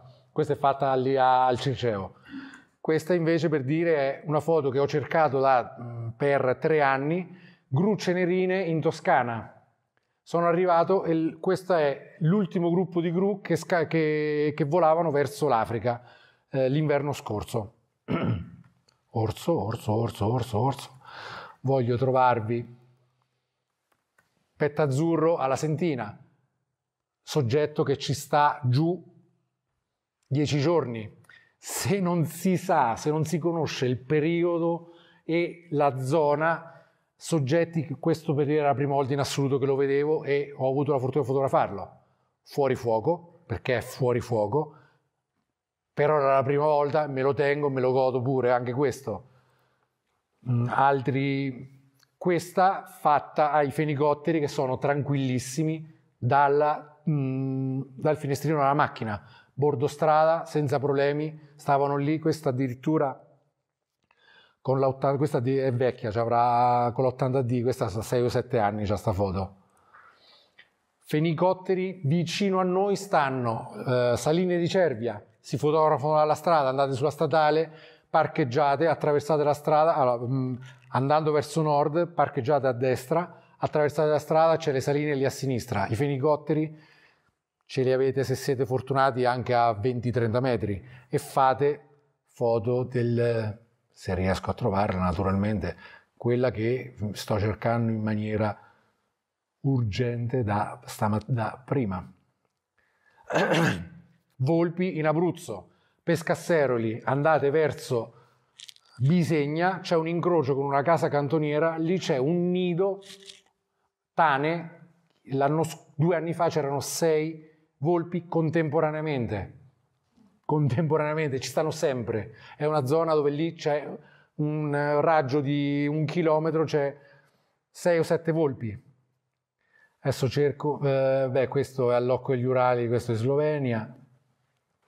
Tutto l'arco alpino, dalla Val d'Aosta al Friuli Venezia Giulia, la Marmotta, da metà maggio a uh, fine settembre, Marmotta in tutte le salse, in tutti i posti del mondo, in tutti i posti, dappertutto. Andate sui piani del Nivolè, la trovate come fosse un gatto randagio, sta dappertutto, sentite urlare perché fischiano per aver, per, mm, fischiano, fischiano proprio, un urlo che non saprei neanche dire, che praticamente avvertono della presenza dell'umano per nascondersi, ma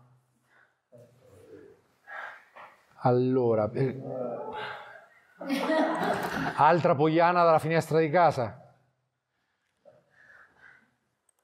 Poiana, eh, io, la, io, sono in Macerata, lavoro a Caldarola, passo per Pollenza, tutti i giorni che ha dato il Signore sta una appollaiata sopra un paro della luce, vicino all'incrocio, se conoscete eh, la scuola vecchia di Pollenza, zona Rotelli, non so se conoscete, sta lì, c'è un palo della luce, lei sta lì sopra, passi, sta lì, ti guarda tranquilla, come rallenti, vola via, mai riuscito a fotografarla, sta fissa lì tutti i giorni. Questo vabbè, il, il cigno del, di Boccafornace. È un cigno, è un soggetto semplice, visto e rivisto, una composizione particolare. Poi andiamo, vabbè, eh, questa l'abbiamo vista prima, questa fatta con il 70-300 e l'80D, se io lo vado a zoomare, era vicino, per carità di Dio, più la minimale è vicino e più è facile avere soggetti nitidi e anche con questo zoom. Come ti avvicini? Eh, devi conoscerlo, devi camminare piano, devi essere silenzioso. Io so, io so più di 1,90 devi stare basso, spesso e volentieri ti devi accovacciare in determinate situazioni. Quando, quando sai di essere vicino al posto dove solitamente stanno, vai piano, aspetti, aspetti, cerchi di, di, ascoltare se si sente qualche cosa. Il camoscio si dice che eh, il camoscio bela, è una pecora fondamentalmente, una capra. Il, eh, il cervo bramisce, ma soprattutto soffia, i, maschi, soprattutto le femmine, io non ho mai sentito nessun tipo diverso. Eh, il, mm, lo stambecco pure lui soffia. Se parliamo poi dell'altro, il, mm, il eh, capriolo abbaia sì, sembra un cane, proprio è preciso, sembra proprio un cane. Questi sono tutti ovini, così una curiosità, stambecco, cervo. No, cervidi. Cervidi? Sì. Forse i cervi un bovine, no? Sì. E l- allora... Eh, no, è più tipo un cavallo, più, più, tipo un cavallo, non è un cavallo, è proprio una razza, però diciamo è più assimilabile a un cavallo. Non l'ho vista mai dal vivo, un mio carissimo amico è tornato poco tempo fa dalla Finlandia, ha detto sì, il cervo è grosso, l'hai vista mai l'alce? L'alce è al garrese, cioè sulla, sulla spalla, è alta due metri e mezzi. Eccoci qua, così. Cioè il cervo è così, cioè due metri e mezzi è una cosa indescrivibile. Eh, Fotografare l'orso in Abruzzo è bellissimo, la Slovenia è bellissimo. Finlandia sono gli orsi bruni ancora più grandi. Io sto organizzando il mio viaggio, il mio viaggio della vita l'anno prossimo, vado in Alaska dove ci stanno i grizzly, 700 kg di orso. Se si alza in piedi sono 3,20 metri di orso. Quello non è come il marsicano che scappa via. Lo sto organizzando oramai da sei mesi, però il costo è quello, andiamo dai 5.000 in su, però sarà due settimane di Alaska e se riesco a far combaciare sia lavoro che tempo che soprattutto soldi, una settimana a Churchill per l'orso polare. Se riesco, però è due settimane in Alaska, sarebbero seconda e terza di settembre e l'ultima di settembre, che in, in Canada, quindi a Churchill, si comincia a gelare il mare e arrivano gli orsi polari e il problema della fotografia naturalistica è anche questo. Qui da noi, in Italia, ci sta quei quattro esemplari, cinque. Poi o si viaggia o c'è poco da fare. Un altro viaggio bellissimo è, per chi è amante dell'avifauna, andare al delta del Danubio. Si chiama Ultima Frontiera, è una zona uh, specifica con tantissimi capanni, ci saranno una cinquantina, dove c'è tutte le tipologie possibili e immaginabili di avifauna, di uccelli e in più c'è lo sciacallo dorato che adesso è arrivato pure in Italia, sta in Friuli, alcuni propagini del, dei Carpazi, come in Friuli c'è arrivato anche l'orso dalla, dalla Slovenia. Scusa? Bulgaria. Eh, Bulgaria, sì, sì, Bulgaria. È un viaggio relativamente anche poco costoso, sta sul 1700 euro, una settimana tutta avifauna, Capagna Matteo e praticamente ti danno una macchinina elettrica e ti sposti con la macchinina elettrica sui capanni e tu il giorno prima dici voglio stare al capanno 7, 15 e 32 e ci stai solo tu su quel capanno. In base a, a quello, ogni capanno ha il suo soggetto eh, preferito, diciamo, ma ce ne stanno di tutti i tipi. Polonia, altro sogno, fare il, il, il bufalo, Bufalo? Bisonte, scusate, bisonte europeo, bisonte europeo in Polonia, idem l'aquila di Streller sempre in Polonia.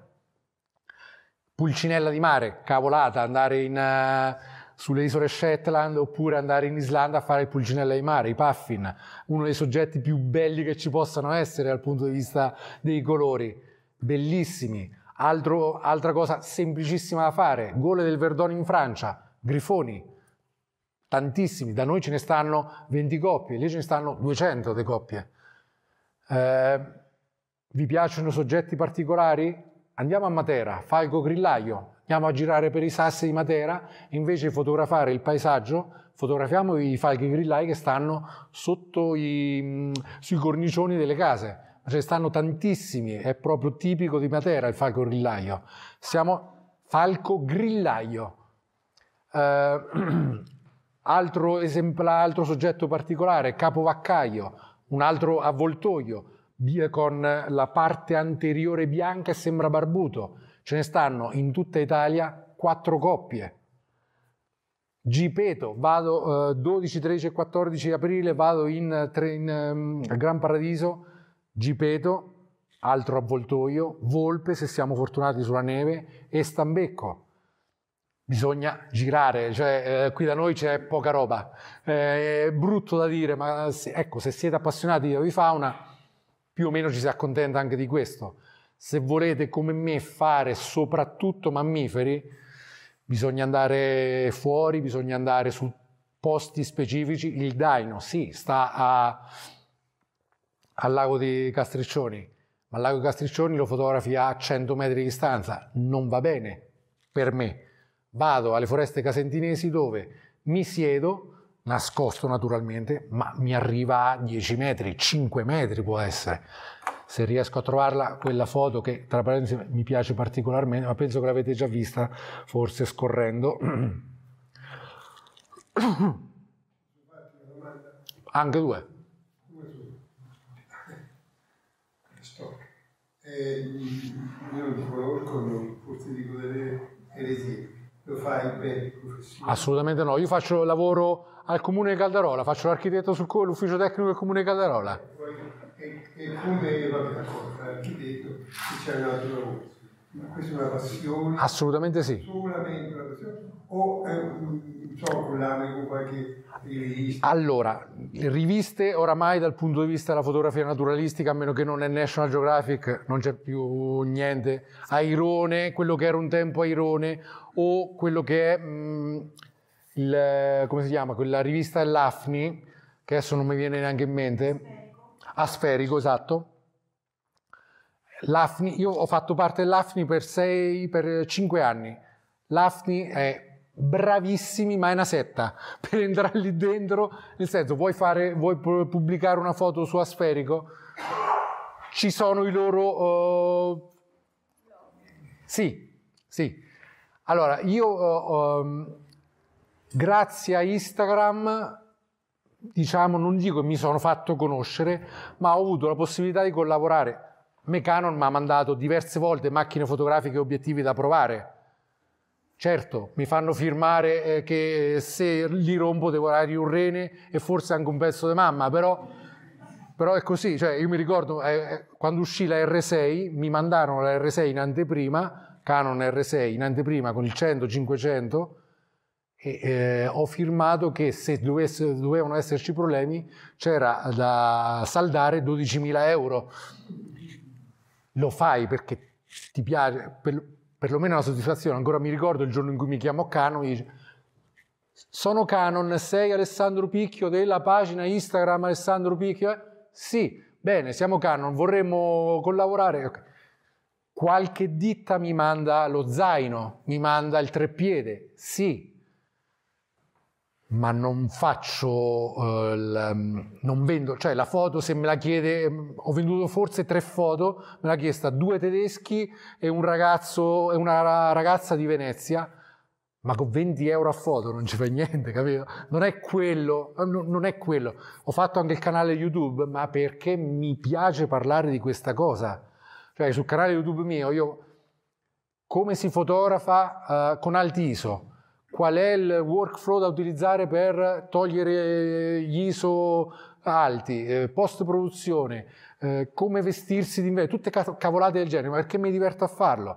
Nessun tipo di ritorno economico, però, e lui è testimone, andiamo giù in Abruzzo, passeggio, oh, ma che sei Alessandro? Fa piacere, ti diverti, ti dà la possibilità anche di conoscere altre persone.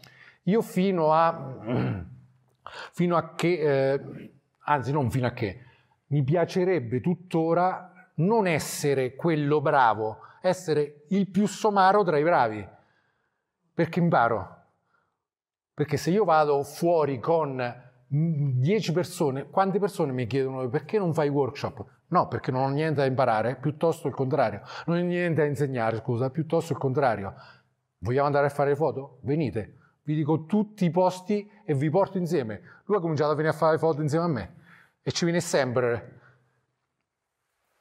perché mi diverto, mi piace fargli conoscere, mi piace fargli fotografare. Quando, quando, quando ha visto l'orso così è rimasto, ancora me la ricordo quel giorno. E per me è molto più divertente questo piuttosto, ripeto, io ho il mio lavoro, non me ne frega niente di guadagnarci.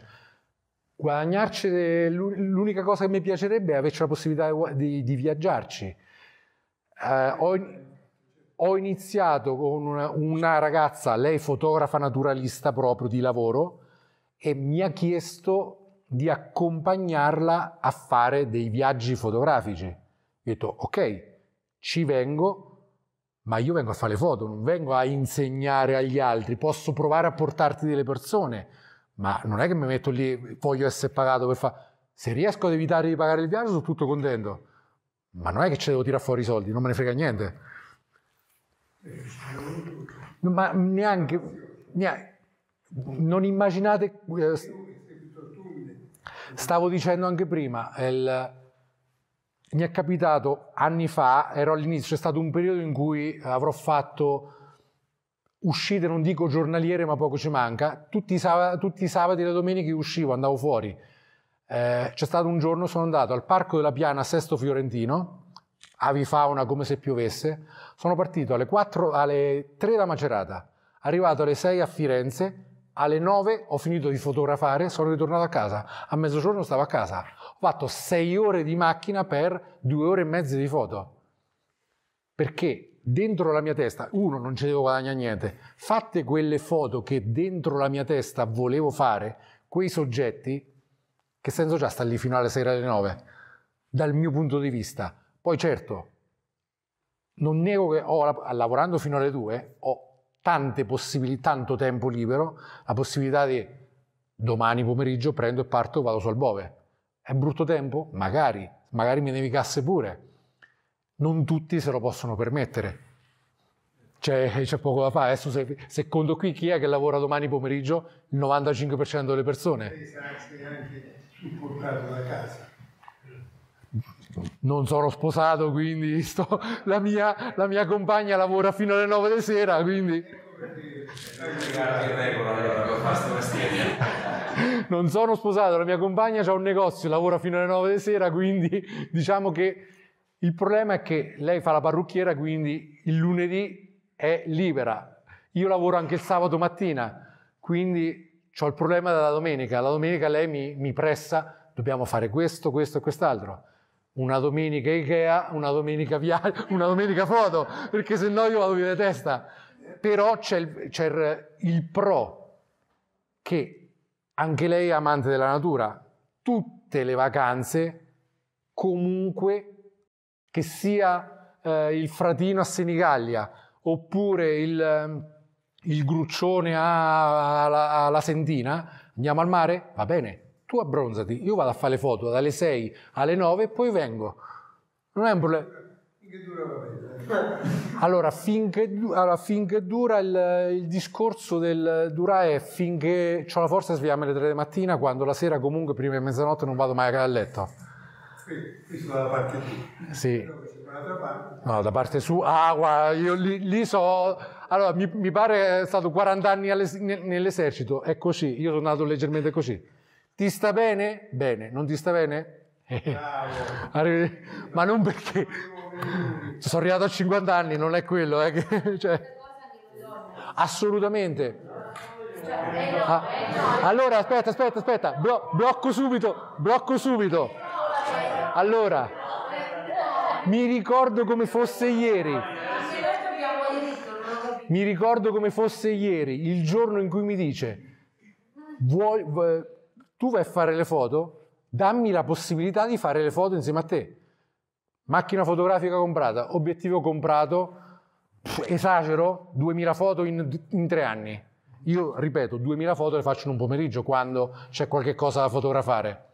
Io qui dentro ci sono 170.000 foto fatte e 170.000 sono quelle effettivamente editabili, non quelle fuori fuoco che io me le guardo e me le cancello. Ho fatto secche una, due, tre, quattro fotocamere, ma non perché erano da cambiare, perché aveva fatto una 200.000 scatti, io ho una 1D4 e ha 700.000 scatti.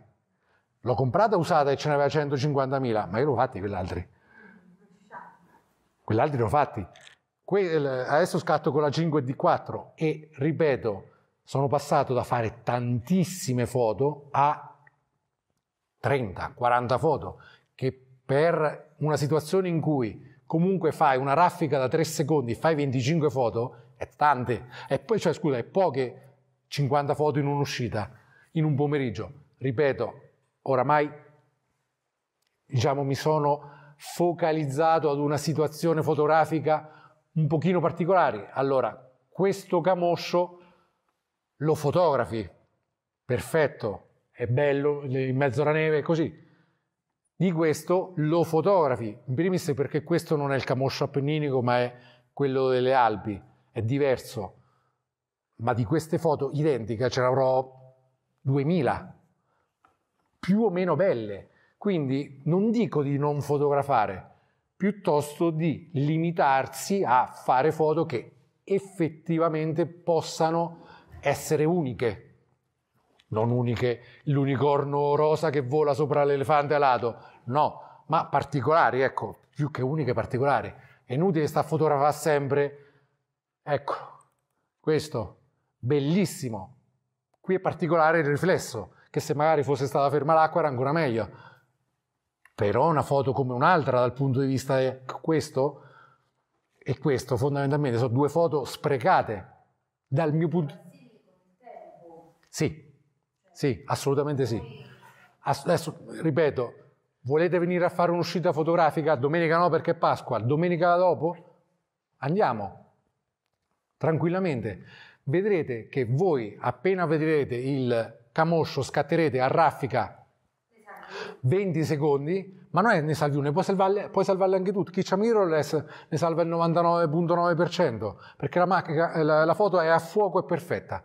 Io su, 10, su 100 foto, per quanto pare che ho il Parkinson, comunque con 7 kg di attrezzatura sulle mani, dopo un pochino tremi, non ce l'ho tutte le foto a fuoco, è inutile, non, non mi vergogno a dirlo. E comunque scatto poco, scatto pochissimo. Io sono uscito un, un paio di volte con un ragazzo di Iesi, lui ha la A9, eh, la 2, e fa 20 scatti al secondo, due raffiche da, da, da 3 secondi ha fatto 120 foto, tutte uguali, a farne una, due, cinque, ma falle bene e particolari. Cioè che senso c'ha? Torno a far vedere Hiro di qua, che è, è, è emblematico. L'orso lo vedi? Che senso c'ha queste foto? Tutte uguali. E te lo dico io, l'ho fatta io. Che senso c'ha? Tutte uguali. La foto, questa è carina perché sta in una posa particolare, ma ecco, forse questa è ancora meglio. Se no, non so foto particolari, so foto che se ne trovano centinaia intorno. Dopo, ecco, io so, sono riuscito a diventare abbastanza selettivo quando vado a fare le foto, questo sì. Non so fare foto di paesaggio, perché lo ammetto, non, non riesco a, a, a vederci la composizione, a vedere... Però ci perdo tempo e non dico che vengano bene, però magari in una situazione meteo particolare, con un po' di nuvole, però per fare sta foto, se io fossi stato davanti a, a un orso avrei fatto due foto e le avrei fatte particolari, per fare questa avrò fatto 50 foto? E mi è venuta una merda, detto delicatamente proprio, perché non è niente di che, non è niente di che, e chi fa foto di paesaggio lo dice tranquillamente, ma io sono il primo che dice non sono in grado di fare foto di paesaggio, non mi ci sono mai applicato, è una pecca, però per quello che è il mio eh, approccio alla fotografia per me è troppo statico, cioè eh, sta lì tac, no, devo aspettare un attimo che passa la, la, la, la nuvola lì particolare, mm, se non mi passa la nuvola è un problema per me, però se vado a pensare, cavolo, però se non mi passa l'orso guarda che non ho fatto nessuna foto. Sarà, sarà l'eccitazione comunque aspettasse che esce storso piuttosto che la, eh, la montagna, peraltro bellissima, che sta lì ferma e posso tornarci cento volte in dieci anni diversi e fare comunque foto sempre diverse. E io magari vado dieci volte in Slovenia, Slovenia tre volte, totale eh, praticamente sei ore di capanno al giorno, sono stato nove giorni, quindi 6 per 9, 54 ore di capanno, di cui 53, 52 così. E non c'era l'orso. Primo giorno l'orso è venuto, sette minuti si è fatto vedere e ancora me lo ricordo, in quei sette minuti ho fatto boh, forse 1000-1500 foto. Il capanno con il cavalletto? Il capanno c'è la, l'attacco per la, per la testa, il, capa, il, cavalletto no, c'è proprio la, la, la mensola e le viti eh, ognuno ha il suo buco, massimo due buchi a persona. Se io vado con una macchina fotografica pago 100, pagavo 180 euro al giorno, se me ne porto due ancora 180, se ne porti tre sono 2,40. Io, io me ne porto sempre due, io sempre due ne porto, una fissa per fare i video e una per fare le foto. Fissa. Ah, non parla nessuno per me. No, no, ci mancherebbe. Sì, sì, sì. Sei il portavoce. Non mi portavoce, Oh, ritorno a dire, tecnicamente parlando, io sono veramente scarso. Cioè, se mi chiedete di fare una foto con un flash, non so neanche che significa prima e seconda tendina, non ho idea di che si parla, eh. Zero. No, fai tutto, tu hai fatto quel quel gesto, no? Questo cannone che sì. una tonnellata e mezzo, ma cioè, veramente gliela fa tutto fermo a mano riesci. Ad esclusione dei video faccio tutto a mano libera. Ad esclusione dei video sì. I video, ultimamente, avendoci il canale YouTube, dove ci stanno tanti video anche di uscite fotografiche, eh, per fare qualche cosa un pochino più alto di qualità, che poi è anche complicato per chi non è abituato, se devi seguire eh, un soggetto che si muove e non c'hai la testa video, vai a scatti comunque anche con, anche con la testa gimbal, per quanto possa essere eh, fluida tutto quello che ti pare. Vuoi scattare con la gimbal a un soggetto che sta eh, in alto, la gimbal non si blocca, devi tenerla. E comunque eh, il, già solo il semplice respiro, si vede, su un 500 magari moltiplicato, quando, infatti io solitamente consiglio di scattare almeno all'inverso della lunghezza focale, 500 almeno un cinquecentesimo. Io scatto da un millesimo in su, ripeto, non mi interessa degli ISO, devo averci la foto nitida, l'ISO più o meno lo recupero. E non ho fatto vedere prima il passaggio de, mh, di riduzione del rumore con Topaz che è ridicolo, entri dentro, fai invio e, fa tutto da solo. Con ISO 250 però con 10.000 ISO, Topaz uh, The Noise attuale, quello con l'intelligenza artificiale, recupera qualsiasi cosa, qualsiasi cosa. Pesa, pesa, posso garantire che pesa uh, fare una raffica anche dei 3-4 secondi. E io sono abbastanza allenato, Mm, faccio palestra, l'obiettivo pesa 6 kg, già solo semplicemente fa così, fai un po' dei pesi, però pesa. però pesa. No, no, è, compli- è, è complicato anche perché si arriva al punto in cui veramente vuoi fare la composizione in camera, vuoi cercare di trovare quel momento, quindi magari stai lì 30 secondi e poi comincia a pesare, eh? comincia a pesare e lo abbassi, perdi l'attimo, bestemmi in austro-ungarico, tiri su, aspetti 30 secondi e quell'attimo non ti ricapita più. Respirare, respirare fino a che un 500 liscio se bozza. Se ci si mette già su una APS-C che vai a eh, 800 mm, è complicato, ecco, è davvero complicato sta fermo.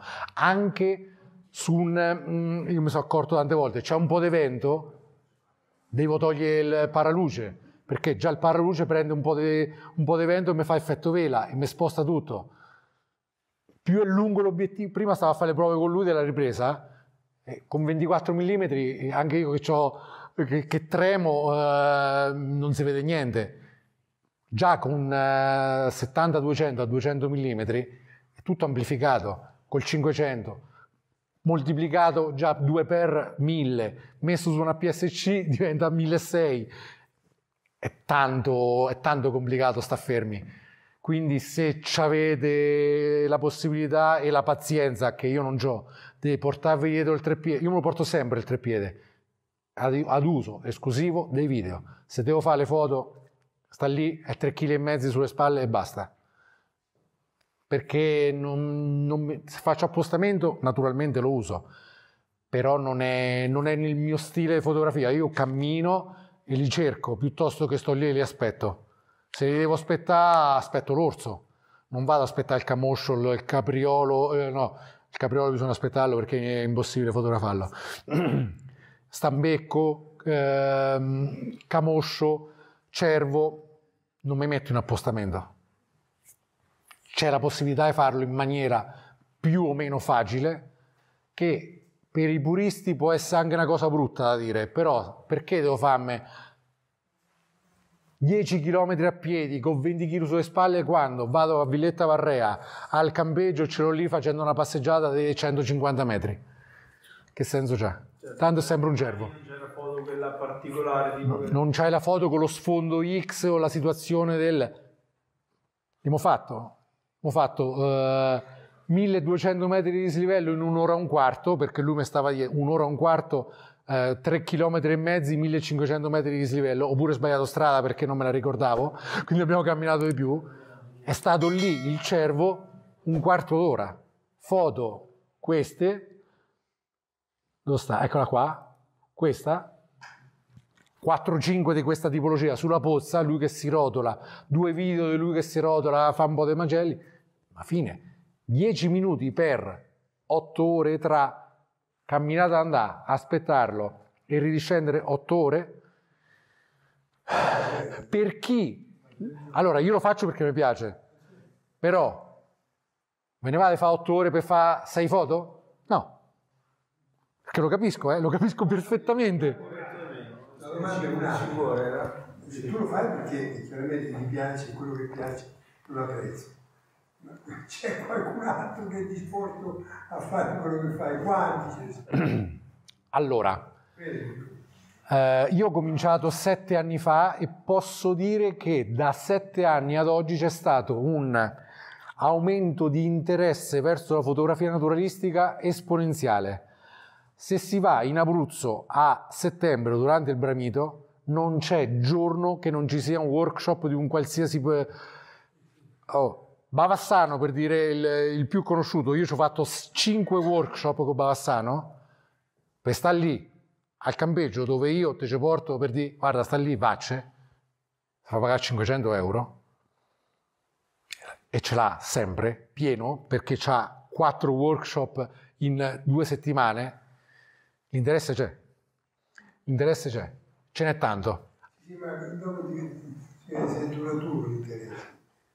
Allora, sì, sono d'accordo, bella domanda, questa è veramente bella perché eh, io consiglio sempre a tutti di prendere un eh, obiettivo da 150 euro, che è il classico 70-300 della, della Tamron, divertiti a fare, a fare le foto, però fai le foto con me, famoci 20 km di strada, andate e ritorno e svegliamoci alle 3 per tre volte di fila, andiamo in Abruzzo, tre giorni dormi in totale forse 9 ore e ti fai 50-60 km e stai seduto sui sassi che te punta dappertutto per 5-6 ore. Se finito quello ti piace, ok, facciamo il passo successivo. Però è mh, oggettivamente ce n'è pochi. Oggettivamente ce n'è pochi. e detto in maniera brutale, ce n'è tanti dall'età mia in su. Io ho 50 anni a giugno, dall'età mia in su. Tanti. È- che c'ha più tempo da dedicarci, non dico tempo da perderci. Il ventenne vuole la foto subito. È brutto da dire, eh? però è così. Se noi lo portiamo a fare le foto in, in un safari, il ventenne si innamora di- della fotografia naturalistica istantaneamente. Si compra il 500 F4 con la Canon R3 che costa 7000 euro. Quando va, viene con me su ai Sivillini che fa 8 foto, dice e io ho speso 15.000 euro per 8 foto? No, però è così. Eh, è un genere un pochino per persone che hanno più pazienza. E ripeto, io sono uno che ce n'ha tanto poca, ma posso garantire che quando te devi fare 6 ore di camminata, la pazienza te deve venire per forza. Te deve venire per forza. Passione. Sì, ma la passione la sentite anche semplicemente da come parlo, cioè io posso, è, è due ore che discorro, ma potrei starci altre cinque ore, perché mi diverto proprio a parlarne. Potrei fare mille aneddoti di tutte le uscite che ho fatto. Hai detto che è- aumentato in maniera esponenziale Sì, per le persone che sono amanti di questo tipo di. Però io vorrei vedere nel tempo tutte queste persone amanti in maniera esponenziale, cioè testate proprio. Quante volte sei partito? Ah, la prima volta 20, 20 volte, il primo anno 20, 20 volte, 20, 30 volte, il secondo anno 10. Sì, ci sta. Uno che si allora io ho iniziato, ripeto, sette anni fa e uscivo sempre con un ragazzo di Cremona che avevamo iniziato insieme, stesso workshop, primo giorno, lui si è comprato, me lo ricordo come fosse ieri, Nikon D5 nuova, 428 Nikon nuovo, ha speso 20.000 euro, dopo due mesi e mezzo ha venduto tutto. Due mesi e mezzi. Ha detto, sì, è bello, mi diverto, ma io vado in palestra, mi diverto di più. Alzo le mani. In due mesi, permetto, in due mesi, e ti garantisco, io Macerata, lui Cremona, abbiamo fatto 15 uscite, tutti sabati e domenica, tutti.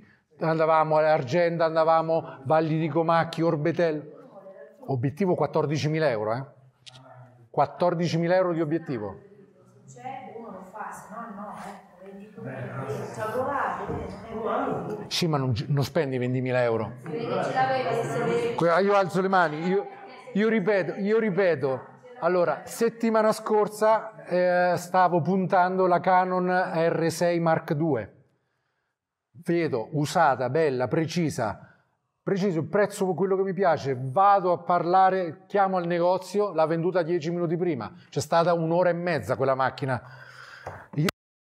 E io me la puntavo da un anno e mezzo. La R5 al momento per me non dico che non è raggiungibile, ma 50 megapixel sì, funziona, ok. A me serve un pochino di più l'autofocus.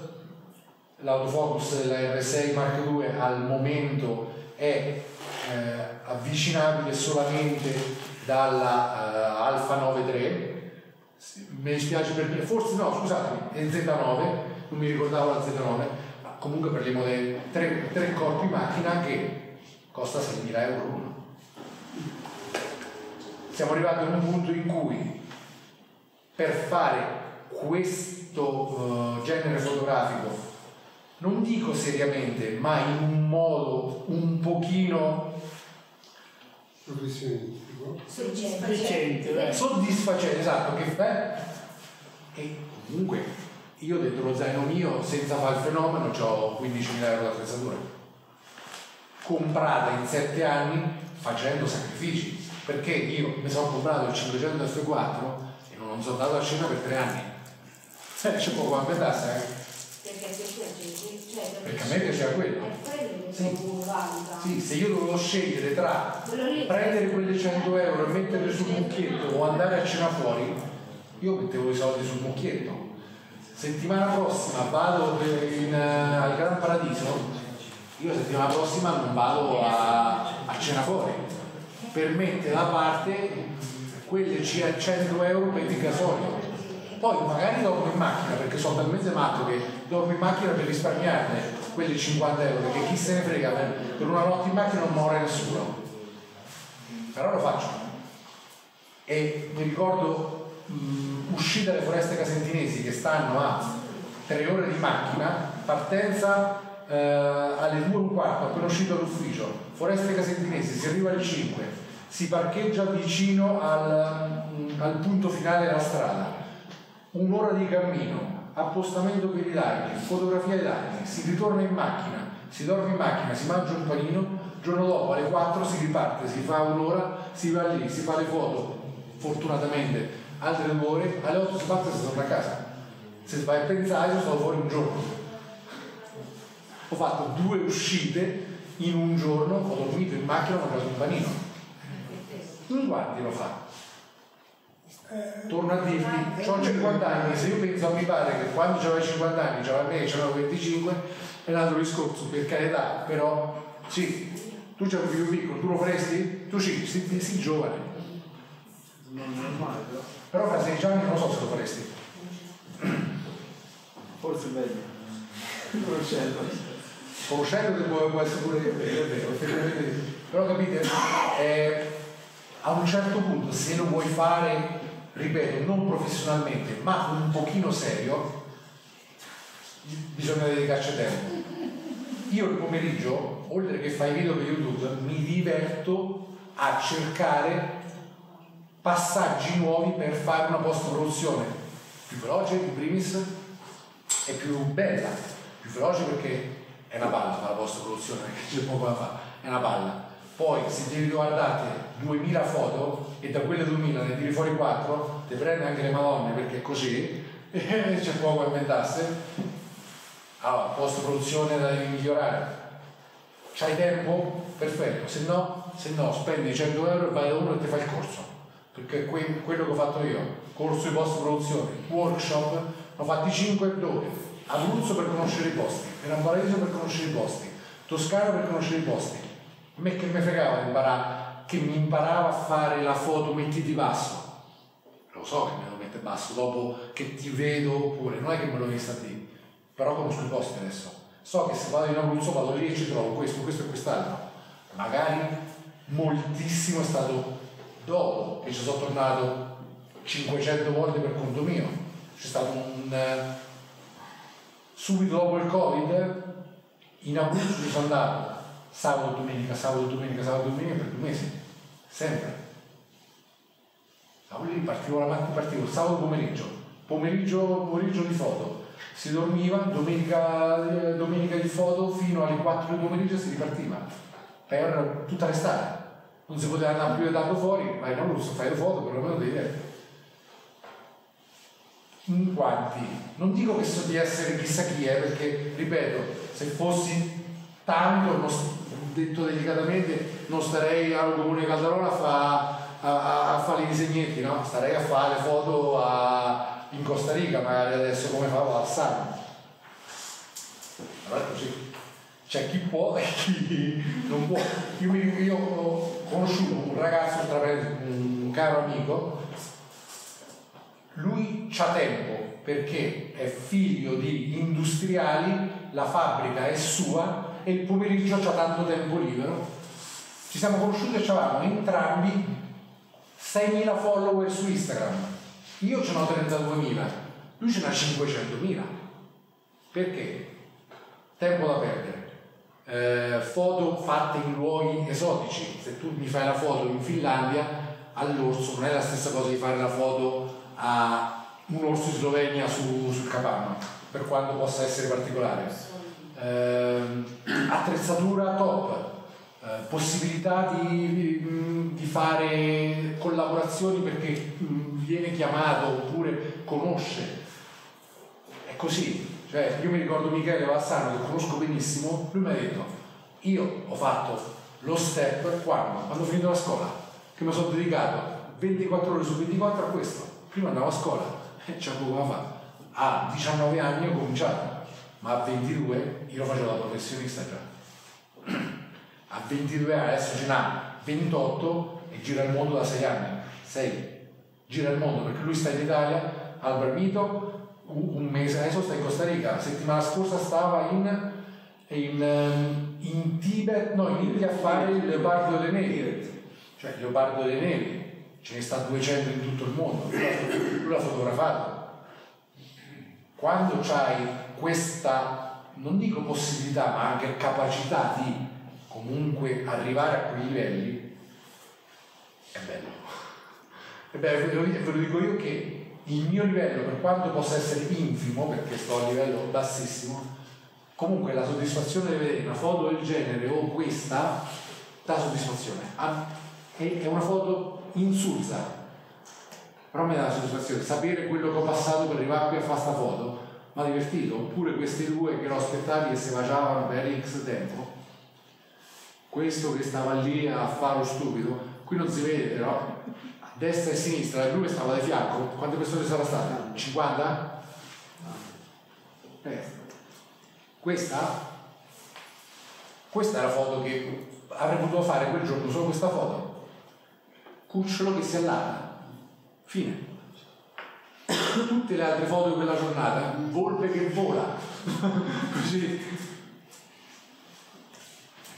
Senti, una, una domanda tecnica, con la focali così lunghe, no? Sì, Soprattutto quando fai gli uccelli che vola oppure un soggetto lontano, sì. come lo tieni l'occhio? Dentro la macchinetta o perché... Chiude con l'occhio con i due aperti. Eh, devo guardi perché sennò come fai a... Quando gli uccelli al volo tengo, lo- tengo l'obiettivo con l'occhio libero, guardo, guardo il coso, cerco di puntarlo. Ok, perché sennò... Quella, se, se è un soggetto statico guardo con No, direttamente sta, sta fermo, ok, Sì. non si muove, Sì, sì, sì. e. Che, che ti fa girare la testa, Sì, perché- no, però però è allora, tantissime volte, soprattutto con eh, facendolo, io sto così, vedo un uccello al volo, tac, e ce l'ho già, già al centro dell'obiettivo. Mm, gran parte delle volte adesso mi capita così, però tu considera che agli inizi, sempre guidato dalla passione, io stavo in terrazzo di casa, biccioni, facevo così lo puntavo, Io tipo andare a tirare il piatello, tirare il piatello, chi tira il piatello è fotografo naturalista per eccezione, eh, cioè mh, per definizione, perché tira su e punta sicuro l'uccello al volo, è sicuro. Michele mi raccontava, se a me mi dai un grandangolo, io faccio più difficoltà a mettere, a, a, mh, mettere il soggetto nell'obiettivo perché io sono abituato, io sono nato col 500. Il primo obiettivo che ho avuto stava al 500, tiro su e punto anche, anche senza guardarci. Adesso io ci riesco, non 10 su 10, 7 su 10 sì. Tiro su e ho il, il soggetto lì, lo guardo, tiro e punto. Poi naturalmente se quello che si muove, occhio libero guardo. Con quest'altro poi punto. Però sì, il soggetto è statico e sta lontano, se posso e mi rendo conto che comunque comincio a tremare perché ti rendi conto, aumento la velocità, cioè vado un millesimo, uno su 2000 se è possibile, cerco di bloccare di velocità l'otturatore, perché sennò se te ne faccio vedere diverse in foto, il soggetto sta fermo, però si vede che sale semplice. Anche veramente il semplice respirare fa tanto, ciao, arrivederci. anche il semplice respirare sul soggetto, anche quando ho il, montata sulla, sulla testa, soprattutto sulla gimbal, ti devi mettere, puntare sul sopracciglio l- l'oculare, il più lontano possibile la mano per averci il massimo dell'estensione per bloccare il più possibile questo movimento. Tu stai così, se non punti qui devi averci almeno tre punti di contatto. Occhio, spalla e mano il più lontano possibile. Io solitamente fotografo così, non fotografo così. Metto la mano sul paraluce, non sull'obiettivo, per averci il massimo dell'estensione. Braccio esteso, peno, perché faccio così. Ecco, io pure in palestra, ti costa pure i soldi per la palestra.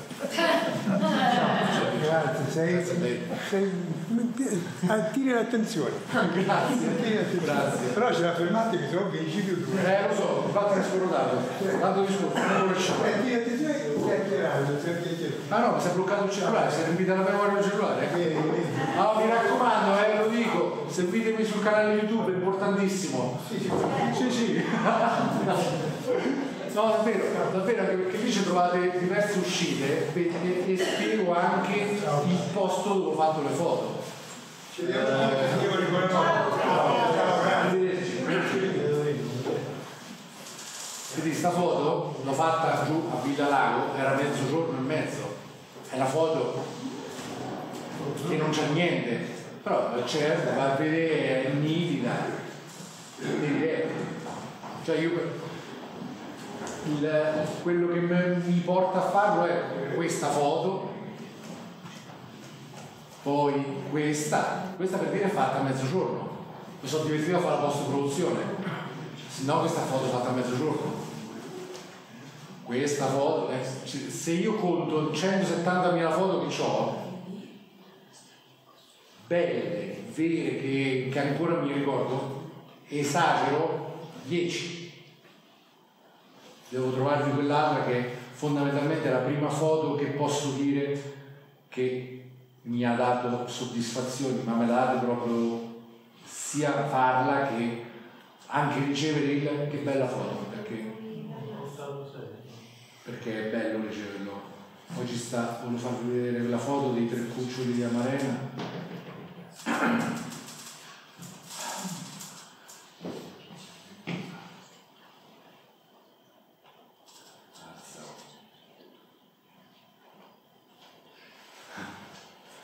Ne faccio troppe.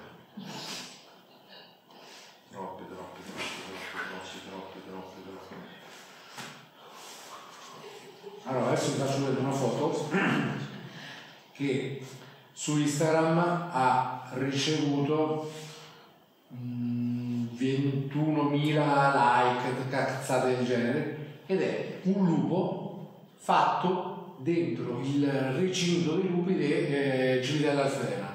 E io l'ho detto tutti, foto fantastica, che bella, che bella. Ma, ma- cioè, è una foto oggettivamente brutta, ma brutta, eh, perché è una foto semplicissima, fatta dentro un recinto, l'ho dichiarato, e magari foto decisamente più, eh, poi quello è il problema di chi fa la foto, eh, guarda quello che ha trascorso per farla, non se effettivamente è una bella foto o meno.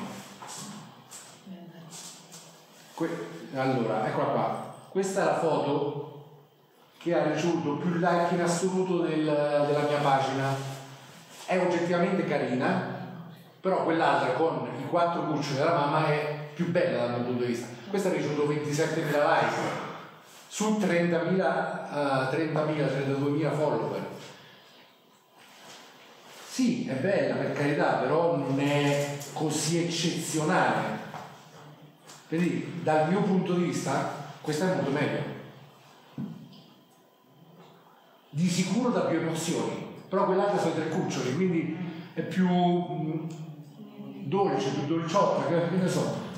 È tuo, lo sai te Sì, però. Ah, per, dire, qui una foto che mi ha fatto qualcuno? No, ho piazzato una macchina fotografica lì, ho preso, mi sono messo a camminare eh, e gli ho dato eh, 10 secondi di tempo, mi sembra, e mi sono messo lì. Idem, no, quest'altra me l'ha fatta, questa me l'ha trovata. Nei suoi viaggi, hanno queste esperienze, comunque, incontrato mai ragazze, donne che fanno così? Assolutamente sì. Che ne sono più da Tantissime, tantissime donne. Cioè, una cosa bellissima, eh? Tante, tante, No? tante. E, e poi le donne eh, sono pure quelle più... Sì, sì, sì, so anche... eh, si mettono tanto più in competizione, cioè se lui è più bravo di me, io sono contento, cerco di imparare. La donna no, se te sei più brava di lei, lei sta incazzata come una bestia nei tuoi confronti. Sì, sì, sì, ma ed è ca- no, non, non dico cattiva, però s- diciamo invidiosa anche del.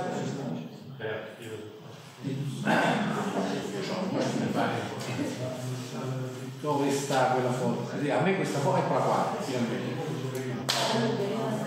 Questa l'ho scattata a fortuna, è stata una sequenza di fenicotteri che ho seguito. E mi è capitato di fronte al sole. Questa è stata, forse era due mesi che scattavo. Questo, questo è. No, no, diciamolo con questo è. Cioè la foto qui questa è oggettivamente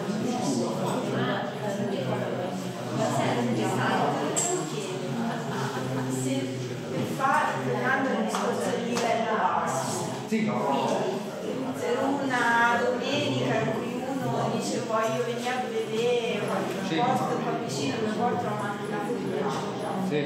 Qual è la lunghezza focale minima, se esiste, con cui ti puoi un minimo affacciare questo? In primis dipende da quello che vuoi fotografare.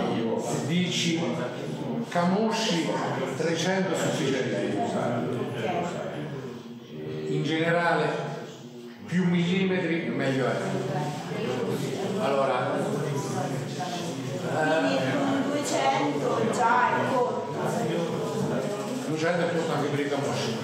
Allora, questa per dire è fatta con 600 mm messo a 150, 150-600, proprio su sta lì. È questo bambolotto che sta appoggiato lì sopra sto ramo, ma sta fermo le ore se non c'è nessun disturbo. Ti sposti già di qua, se stai in fase di eh, amori, questo lo sta fermo un attimo, è un fenicottero che trovi al bordo strada, può essere che ce lo trovi fermo su una gamba ore e ore. Nei periodi di, di cova o di lotta per le femmine, questo sta per un secondo. Il fratino, tan tan tan tan tan zumba da quest'ultimo, tutti i passi riformi, frosone, mm, cin- cinciarelle, cincialleri, è complicati da, cioè se non fai uno su 2000 soprattutto almeno 500 mm perché se io ti dovessi fare questo a mm, cavolo, non riesco a fotografare, deve farlo bene, fa analizzare. Allora, questo, se fosse stato così, era 200 volte meglio, però è così. Quindi qui io ho 600 su questo. Se fosse stato io 5-6 metri più avanti, la foto era questa, era l'altra foto. Sarebbe stata decisamente più nitida, anche se questa è nitida, però è un'altra cosa. Questo è fatto col 500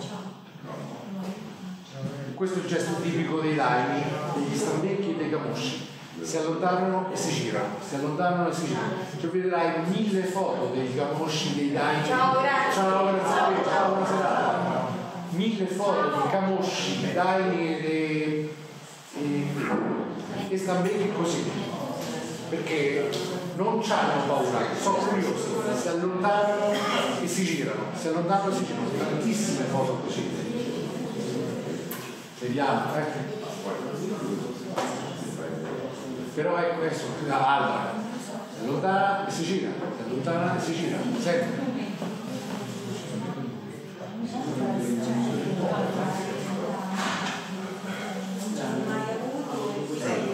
Allora, se io ce l'ho l'obiettivo, io ce l'ho, se volete fare uscita, io non ho problemi a non fotografare, io li presto tranquillamente, sia il 500 che il 600. Però giocare, dice Nikon, alzo le mani. No, sono sincero, io Nikon non l'ho mai, mai, mai usata. Sony sì, Panasonic pure, Olympus, Nikon mai. Mai, mai, presa in mano, vista, eh, però se mi dici come si regola il viso le cose non ho neanche idea come è fatto il menù, zero.